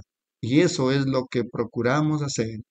Y de seguro tenemos un grupo de pequeñitos preciosos recostados sobre el pecho de sus padres en esta mañana y solo, párrafo 3, el niño de hermanos Junior y Junior, otro Junior aquí, el niño de Weber y el niño del hermano Stricker. Veamos, creo que esta es una niña, niña y un niño, dos niñas y un niño. Muy bien, eso está bien. ¿Y la pequeñita aquí tienen ustedes dos o ella solo vino con ustedes? Bueno, eso está bien. Bueno, estoy contento y feliz que el Señor ha bendecido sus hogares con estos regalos de estas pequeñas muestras de amor. Ustedes saben cuando se llega a un punto en el que en el que las mujeres ya no aman a los pequeñitos, ellas ya no son mujeres, en mi opinión. A mí me gustan los pequeñitos y, y yo y hay algo acerca de ellos. Mi pequeñito allá atrás, él está. Meda dijo, tú tenías mucha edad para tener uno. Un cuarto, párrafo cuarto. Yo dije, no, cuando Dios los envía, ellos están al mero tiempo. Correcto, ellos están exactamente a tiempo y así que yo solo lo sé lo que significan para el hogar. Y muchos jóvenes, ellos dicen, bueno, no podemos tener niños. Esperaremos hasta más adelante y demás. Cuando Dios los envíe, recíbanlos, porque ellos son el lazo que ata los corazones y los hogares juntos, los pequeñitos. Ahora, vamos a bajarnos con los ancianos de aquí. Si ustedes desean para ir allá a donde está ese pequeñito, siendo que él está en nuestra derecha, haciendo mi esposa allá atrás y yo lo buscamos a usted en Arizona hace unos cuantas semanas, allá en Parker, por todas partes tratando de localizarlo, y no pudimos localizarlo. Y ellos me dijeron que usted estaba en la reserva, al otro lado del río, así que yo no lo encontré. Y oí que su esposa estaba enferma y le dije al hermano Copper que le dijera a usted que la trajera aquí para que pudiéramos orar por ella. Párrafo 5. Oraremos por los enfermos, Solo a menos que ella esté mucho, muy enferma y quiera que yo ore por ella ahorita. Vamos a tener una, una fila en un ratito tan pronto como hable un poquito. O tenía pensado que yo hablara. Hermano Neville. Entre corchetes del hermano Neville dice, sí, señor. Un anuncio que quiero hacer en esta mañana y entonces no hablaremos mucho y luego quizás lo terminamos en esta noche. Hay un, ah, un anuncio que yo quisiera, si alguno vive en el vecindario, que esté seguro de hablarle a los vecinos respecto a esto. Los vecinos de aquí me han estado llamando, especialmente uno en el vecindario me llama anteayer y era respecto a los muchachos jugando pelota aquí en, la, en el lote. Les quebraron una ventana, les arruinaron una puerta de tela metálica. Les estropearon el jardín. Dijo que los muchachitos, todos los vecinos saben que ellos quieren jugar, seguro.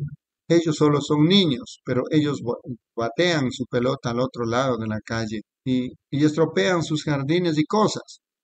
Y yo pienso que hay varios muchachitos aquí en el vecindario que están incluidos en eso. Párrafo 6, por último, y ellos, ellos han sido muy amables con nosotros. Ellos nunca se han quejado. Los vecinos, las noches, y nosotros por, por aquí no nos ponemos un poquito bulliciosos, ustedes saben, muy entrada la noche, pero nunca hay una queja al respecto. Y ustedes saben cómo ellos pudieran, ellos pudieran molestarnos por ello, si ellos quisieran. Y nosotros creemos en estar en paz con nuestros vecinos y con vivir en paz con todo hombre hasta donde sea posible. Y así que queremos hacer eso. Y ahora, si no hubiera otro lugar en la ciudad o, o ninguna parte para que los muchachitos jugaran pelota, veríamos si pudiéramos construirnos una cerca grande y alta alrededor para que así la pelota no se fuera hasta allá y perturbara y molestara a nuestros vecinos. Pero aquí mismo en Ingramville, asimismo tienen un campo de béisbol público para todos los muchachitos y campos de recreo para que ellos jueguen. Amén, mis amados hermanos y hermanas. Continuamos con este mensaje que iniciamos, vida, mensaje predicado en Jeffersonville, Indiana, Estados Unidos, del día 2 de junio del año 1957. Continuamos, mis amados hermanos, párrafo 7 al 12, hermana Reina. Amén. Mensaje vida. Párrafo 7. allí pasando la octava, junto al cementerio, ellos tienen allí los campos de recreo para toda la ciudad, para jugar pelota y todo lo demás que ustedes quieran jugar. 16. Yo no hice una decisión. Yo lo presenté a la directiva de la iglesia esta mañana y les pregunté qué deberíamos, nosotros hacer para que pudiéramos estar en paz con nuestros vecinos y tener nuestros amigos y todo, y que nuestra gente entendiera. Y ellos han decidido que quizás sería una cosa buena que nosotros ya no dejemos a nuestros muchachos jugar pelota en el terreno, debido a que sería no que a nosotros nos interese que ellos lo hagan. A la iglesia no le interesa, ¿qué va? Una ventanita o un farolito de vez en cuando. Pero tenemos que pensar también acerca de nuestros vecinos. Ustedes saben, tenemos que pensar acerca de ellos y queremos vivir como caballeros y damas cristianos y nosotros solo, ellos van a, yo les dije que de la única manera que ellos lo pudieran hacer es que pusiéramos un pequeño letrero que los muchachos no jueguen pelota allí y ellos, nosotros, ocho. Ahora, si alguno de ustedes, vecinos, están aquí, que sus niños están jugando aquí en el lote, yo estoy seguro que ustedes entienden, ¿ven? Que no queremos que nuestros teléfonos y cosas y la policía aquí o alguna cosa u otra respecto a quebrar ventanas o faroles y cosas. Y ustedes, muchachitos, si sus muchachitos están aquí y muchachitas jugando pelota y ellos ven el letrero allá afuera, que no jueguen pelota. Bueno, ahora no es que queremos ser duros con los niños, pero queremos ser respetuosos con nuestros vecinos. Todos entenderán eso, estoy seguro. Y yo no haría esa decisión solo. Yo le pedí a la directiva que viniera esta mañana y les pregunté a ellos. Y esa fue también su decisión, pensando que deberíamos vivir en paz con nuestro, nuestros amigos. Y miren, ellos tienen un lugar para jugar pelota aquí, como a unas dos cuadras de donde estamos aquí ahorita. Ese es un campo de béisbol bien grande y así que ustedes pueden jugar toda la pelota que ustedes quieran. Párrafo 9. Ahora, la gente yendo y viniendo por allí, eso no quiere decir eso, que ellos no caminen por allí o algo. Eso está perfectamente bien. Y algún día yo espero, si el Señor lo permite y Jesús tarda, hacer un estacionamiento oficial allí para la iglesia. Si no edificamos una iglesia más grande y pongámosla. Y si algún día, el, bueno, regresamos, así que será grande. Tendremos una obra aquí. Bueno, el hermano Neville y yo ambos podemos participar en ello y demás edificaríamos una, solo usaríamos ese lote para una iglesia grande y pondríamos una iglesia bien grande aquí y arreglarla de esa manera. Así que nosotros nosotros compramos eso mientras podíamos comprarlo. Entre corchete el hermano Roy Slaughter le habla al hermano Branja y ofrece su camión para acarrear piedra. Gracias, hermano Roy. Eso sería muy amable de su parte, si, eso, si ellos pueden hacer una decisión de hacerla. Si ellos lo hacen en un lugar de estacionamiento, eso sería la cosa por hacer. Eso sería muy amable de su parte. Entre corchete, el hermano Slaughter habla otra vez acerca del lugar de estacionamiento. Sí, Sí, sí, nos van a poner un alto para no estacionarnos. Ya tenemos allí un lado de la calle, así que tendremos, tendremos que hacer algunos, algunos preparativos. Párrafo 10. Y realmente este lugar, este lugar de estacionamiento aquí es del ayuntamiento, ¿correcto? Nosotros solamente tenemos una pequeña porcioncita de terreno allí, no muy grande, antes de llegar allí a la calle. La calle realmente pasa allí por la casa de Brackeman y se continúa allí. Eso es una desviación porque esto era un estanque hace años y ellos lo llenaron. y cuando nuestro terreno fue deslindado, nosotros estamos en el mero lado de la acera, aquí mismo, ¿ven ustedes? Así que no tenemos un frente. Eso allí ahorita es solo la cortesía del ayuntamiento. Y así que esto sería lo de nosotros, atrás, por este lado. Así que entonces yo estoy en medio de una cosa y otra y demás. Y yo, oh, yo solo soy como un, un viento inquieto, como dice el dicho o algo.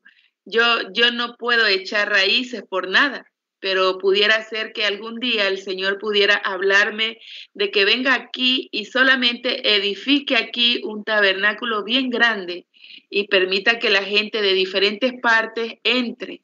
Si sería así, vamos a necesitar eso. Así que ustedes ven, no queremos venderlo o destruirlo. Si lo hacemos, lo llenaremos y lo nivelaremos y pondremos la iglesia en alto y peldaños para llegar a ella y todo. Y eso solucionará toda la situación. ¿Ven ustedes? 11. Y yo estoy seguro que el Señor proveerá cada centavo para ello en el momento que estemos listos para edificarla un lugar de como unos 150 o 200 mil dólares y tener aquí mismo nuestros propios cuartos de radiodifusora y todo lo demás y servicios llevándose a cabo todo el tiempo aquí. Así que no sabemos lo que hará nuestro Señor. Solo estamos orando sobre estas cosas y sobre evangelismos y demás. Y algunas veces yo le digo al Señor, bueno, Tú tienes a Oral Robert y al hermano Allen y tú tienes a Bill Graham y a todos ellos allá. ¿Qué beneficio yo estoy haciendo de, de todas maneras? Pero tan solo, yo solo tengo que hacer lo que él me dice que haga. ¿Ven ustedes? Así que como que me estoy quedando quieto en eso. Ahora, todos entenderán eso, estoy seguro. Y el Señor los bendiga. Ahora veamos es un poquito tarde, así que quizás pondremos la escuela dominical y la predicación juntas. Hermano Neville, el hermano Neville dice sí, y estamos contentos de oír acerca de su bebé también, ¿no es verdad? Mire nada más, muy bien, y dicen que es una profecía. Entre corchete, el hermano Neville dice, sí, es que es algo. El hermano Branja y el hermano Neville se ríen. Muy bien, bueno, estamos, estamos contentos por estas pequeñas profetizas. ¿Ven ustedes? Y por todo. Le doy gracias al Señor por ellas. Párrafo 12. Ustedes saben, las mujeres están en aumento aquí en la nación. Ustedes saben, eso es acerca de lo que estamos pensando. ¿Ven ustedes? Ay, creo, creo yo que es que es como tres de cinco, tres de cinco niños que nacen. Tres de ellos son niñas y las mujeres están aumentando y los hombres están disminuyendo. Las mujeres están tomando control. Por supuesto, eso solo es la tendencia y la profecía del día, que esta nación es una nación de mujer. Será dirigida por una mujer. Y recuerden, 1933 yo vi eso venir en una visión. Una mujer muy poderosa tomará control de toda la nación algún día. Eso es exactamente lo correcto. Antes del tiempo del fin, antes de la total aniquilación. Amén. Dios le bendiga, hermanos y hermanas. Amén.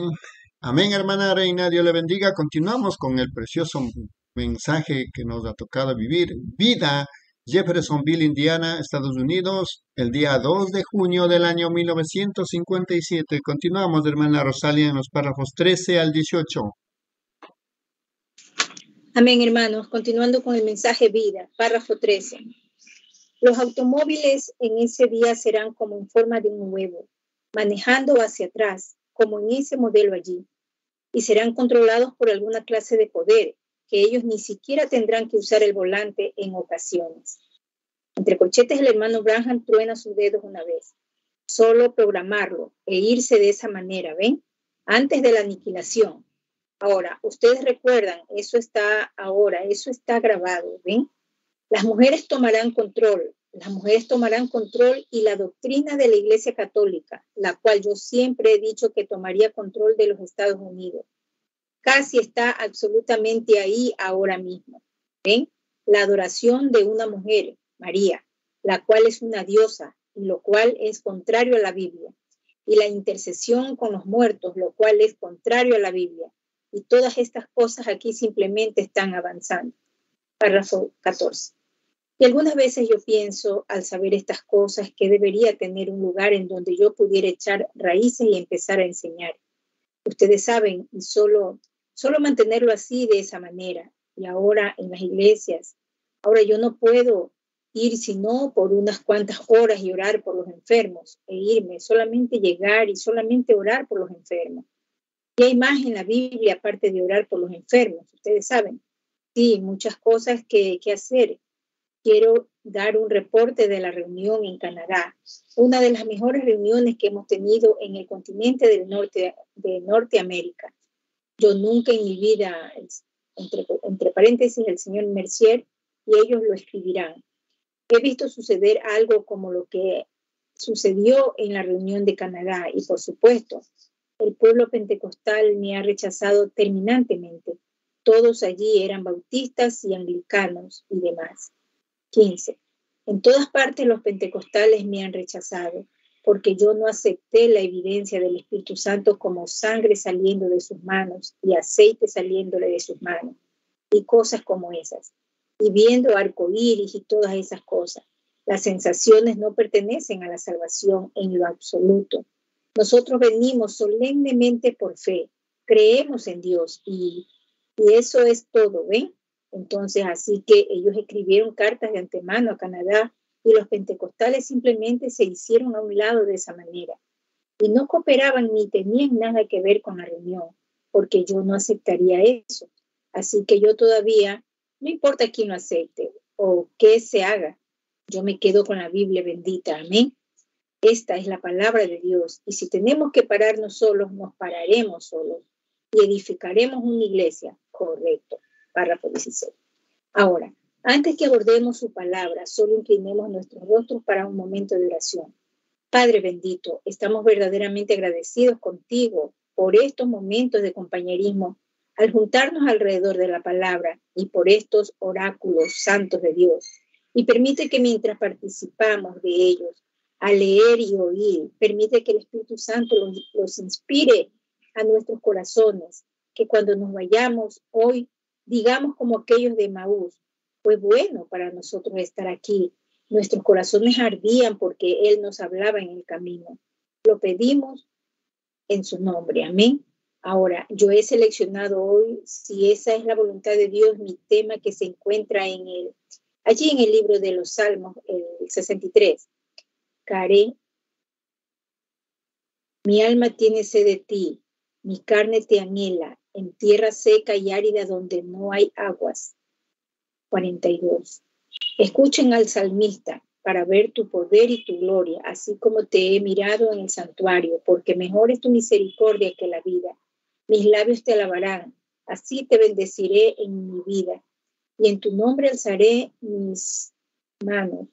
Como de meollo y de grosura será saciada mi alma, y con labios de júbilo te alabará mi boca. Ahora que nuestro Señor añada sus bendiciones a esta palabra, mi tema en esta mañana se encuentra en cuatro letritas, vida. Y como el salmista está diciendo aquí, David, Dios siempre lidia con el hombre de acuerdo a la manera que su mente comprende. Párrafo 17. Ahora, Dios lidió con David como en pastos verdes y aguas de reposo y demás. Y David allá después de que él vio tanta vida, como Dios vivía en el árbol y cómo Él vivía en las flores y cómo Él vivía en el oleaje suave del arroyo.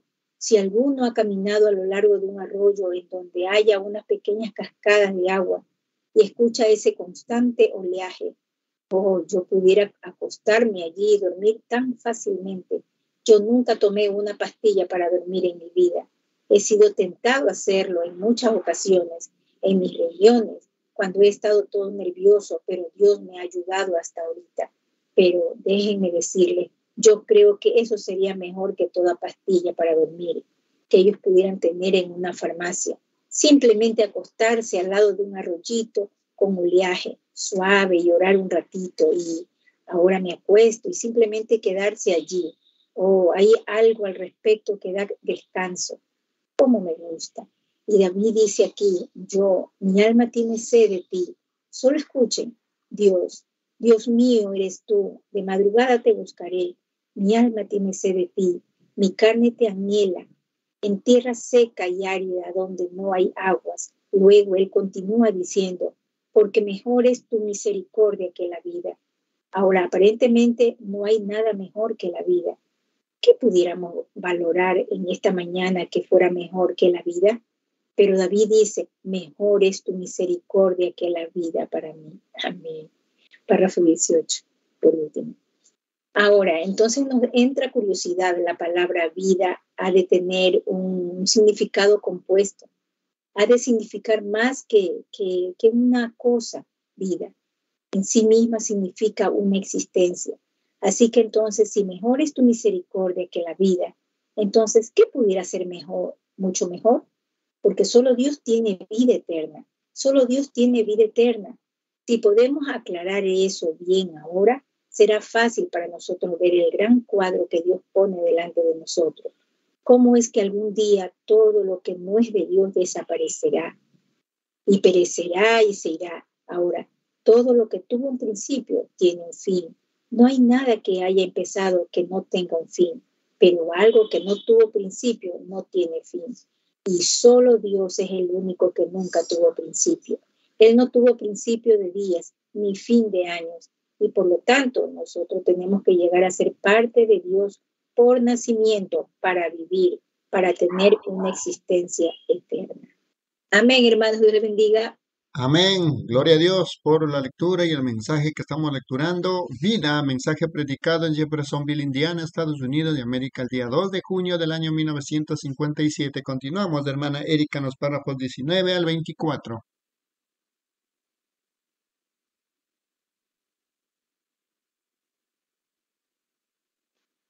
Dios le bendiga, hermanos. Vamos a continuar con el mensaje con el nuevo mensaje vida, actually, um, párrafo 19. Entonces, el pecado y sufrimiento y todo debe llegar a un punto en donde no tiene existencia, porque tuvo un principio. Hubo un tiempo cuando no había enfermedad, ni pecado, ni dolor, ni muerte. Y entonces eso vino por la perversión. Así que toda la perversión debe aniquilarse todo lo que era, que tuvo principio, tiene que eh, terminar para que siempre lo eterno pueda existir. ¿Ver ustedes lo que quiero decir? Esa es la razón que es totalmente imposible que cualquier persona sea salva fuera del nuevo nacimiento, porque los hombres nacen de nuevo del Espíritu de Dios y llegan a ser parte de Dios. Su existencia es eterna como Dios es eterno. Ellos nunca pueden perecer. Jesús dijo, nadie puede arrebatarlos de mi mano.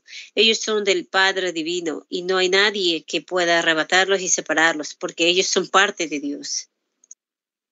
Párrafo 20. Ahora, ninguno de nosotros es erudito. Yo soy una persona que recibo, que recibió muy, muy poca educación, pero algunas veces cuando yo encuentro palabras como esas, yo las investigo para saber y solo tomo esa sola palabra. Yo tengo amigos y maestros de la Biblia quienes pueden tomar el griego o el hebreo, entre corchete la hermana Branja, truenan sus dedos tres veces y simplemente llevarlos por donde quiera en la escritura. Pero yo tengo que tomarla simplemente palabra por palabra e investigarla. Yo y yo me doy cuenta que cuando él dijo, yo les doy a ellos vida eterna, viene de la palabra, la palabra griega soy, es o-e, y es o-e, eso es Dios, la propia vida de Dios, y, y entonces tan seguro como somos partícipes de Zoe, nosotros existimos eternamente como Dios existe eternamente. Por lo tanto, al participar de una parte de Dios, llegamos a ser bendecidos y salvos eternamente por siempre y por siempre, sin fin, sin principio. Nosotros llegamos a ser parte de Dios. Párrafo 21. Si ustedes se fijan que este gran principio ustedes toman, alguien ha hecho La pregunta, ¿quién es este gran Jehová? ¿En dónde, dónde principió él? Él no tuvo principio, él, él por siempre era Dios. Uh, y, ahí es ahora la palabra por siempre solo significa un espacio de tiempo, pero eternidad significa eternidad, pero por siempre la palabra, por siempre es el hebreo, significa espacio, tiempo señalado. Y pues está en plural, por siempre y por siempre, ¿ven? Eso significa dos por siempre, ¿ve? ¿Ven? Pero la eternidad es uno completo. La eternidad es un círculo que no tiene fin. Nunca tuvo un principio y nunca tendrá un fin. Y como es que en el mundo sabemos que hay un real y verdadero espíritu de amor, hay un real y verdadero espíritu de lealtad. Hay un real y verdadero espíritu de honestidad. ¿Cuántos saben eso? Lo sabemos, lo vemos. Bueno, ese es Dios, la fuente misma. Párrafo 22. Cerremos nuestros ojos para imaginarnos por unos cuantos momentos y regresemos muy allá a la antes que hubiéramos cualquier cosa. La gran fuente de toda eternidad era ese espíritu de amor, gozo, ese espíritu de honestidad, ese espíritu de fidelidad en esta perfección. Y entonces de la existencia del Padre salió el Logos, quien era el Hijo, quien era la teofanía, quien era el cuerpo del gran Jehová de Dios, salió un cuerpo celestial. Eso es el Logos. La palabra habló de esas grandes fuentes de vida y salió. Y allí estaba la teofanía, quien era Dios hecho palabra. Párrafo 23. Entonces esa teofanía fue hecha carne en la, en la persona de Jesucristo y entonces toda la plenitud de la Trinidad moró en él, Padre, Hijo y Espíritu Santo. Todo es todo en eso. Y de esa mismísima manera regresamos hasta el principio original de Dios. Allí nosotros nacemos de nuevo, no de carne, nacemos de nuevo, no de sangre, sino que nacemos de nuevo por el Espíritu. Y entonces Espíritu eterno de amor y honestidad desciende para ser su morada en nosotros. Y entonces cuando morimos en esta vida, entramos en el cuerpo, por lo tanto, si este tabernáculo terrestre se deshiciere, tenemos una teofanía en la cual entrar, un cuerpo celestial. Entonces, a la vida, a la venida del Señor Jesús, este cuerpo es levantado de la tierra otra vez y hecho en un estado glorificado para vivir en su presencia para siempre. Entonces toda la perversión, todas las cosas que estaban en la perversión, todas dejan de existir. La carne va a su castigo, el infierno abre su boca y se traga toda la maldad y la perversión. Y Dios y su, y su iglesia amada su novia toman su posición por las eternidades que continúan pasando. Esa es la gran esperanza de la iglesia cristiana. Párrafo 24. Y David clamó, oh, mejor es tu misericordia que la vida para mí. 66. Ahora, vida. Todos quieren pensar de vida. Y vida, la palabra vida, ha venido un, un aspecto pervertido de ella, debido a que aún la vida misma tiene un aspecto pervertido y muchas veces la gente quiere referirse a la vida como el tener un gran momento, bebiendo, encolerizándose y saliendo. Ellos dicen, esto es vida. Cuán equivocados están ellos. Eso es muerte. ¿Ven? No es vida, es muerte. Hace unas cuantas semanas ya en un gran hotel famoso en Canadá, en donde ellos me hospedaron, subí a mi habitación después de mi servicio y allí había jovencitas, entre corchete, entre paréntesis, tal vez en sus últimos años de adolescencia, 18, 19, quizás, perdón, hasta los 23, por ahí, tres o cuatro de ellas corriendo de un lado al otro del piso, con solo puesta su ropa interior y con botellas en sus manos corriendo de un cuarto al otro, jovencitas de hermoso aspecto, Párrafo 25. Al salirme del elevador, me paré y miré, oh, había algo en mí. Amén, hermana. Yo, oh, Dios le bendiga, hermanos. Dios perdón. le bendiga, mi hermana. Amén, Gracias. amén. Mis amados hermanos y hermanas, más adelante tenemos un servicio de culto y vamos a prepararnos. Y si Dios permite, el día de mañana continuaremos con este glorioso mensaje, vida, mensaje predicado en Jeffersonville, Indiana, Estados Unidos, día 2 de junio del año 1957. Vamos a darle gracias para despedirnos, amado Padre Celestial, Señor Dios Todopoderoso. Muchas gracias, Padre. Tú nos has enseñado qué es vida, no como la religión nos da. Oh, David estaba en la escena y nosotros te clamamos también, Dios, Dios mío, eres tú, de madrugada te buscaré, mi alma tiene sed de ti, mi carne te anhela, en tierra seca y árida donde no hay aguas. Sabemos de que en este último tiempo tú enviaste un mensaje glorioso, Señor, un mensaje que despertará a esa simiente predestinada, gente con percepción profética, Padre amado. Nos hemos dedicado, nos hemos puesto de acuerdo, Señor, entre los hermanos, lecturar todos los días, Señor, porque tu escritura dice de día y de noche, como dice Josué 1.8, Padre amado, pero más aún, sabiendo de que todo eres tú, Señor, queremos cumplir esa promesa de Apocalipsis 10, 8 al 11, donde tenemos que comernos el libro. Eso es vida, oh Padre amado. Muchas gracias por la sabiduría y el entendimiento que tú nos das, Señor. Si el día de mañana tienes un día más para nosotros, acudiremos muy respetuosa, con reverencia, Señor, porque eres tú, oh Padre, vida eterna, Señor dador de toda dádiva, Señor. Te lo pedimos, Padre, más adelante tenemos el culto y, Señor, sabiendo de que somos creadores de atmósferas. Permite, Señor, a través de esa dimensión sobrenatural llegar ante tu palabra, oh Padre amado. Guía, oh Padre Señor, al siervo que estará delante, Señor, a los músicos, a los cantantes, Señor, a todos, guíanos, Señor, con, con todo tu espíritu que tú enviaste en este último tiempo. Despiértanos, Señor, ya es día de que ya es hora de que ya esté esta novia marchando como un ejército invencible, Padre. Te lo pedimos, Padre, en el nombre del Señor Jesucristo. Amén, mis amados hermanos, que el Señor Jesucristo los bendiga. Amén. Amén. Dios le bendiga, hermana Erika. Dios le bendiga, hermana Rosalia. Dios le bendiga, hermana Reina. Dios le bendiga, hermana Rosalia, hermana José. Dios le bendiga a todos. Amén. Como la hora sexta, y a Jesús le era necesario pasar por Samaria. Allí había un alma que anhelaba ver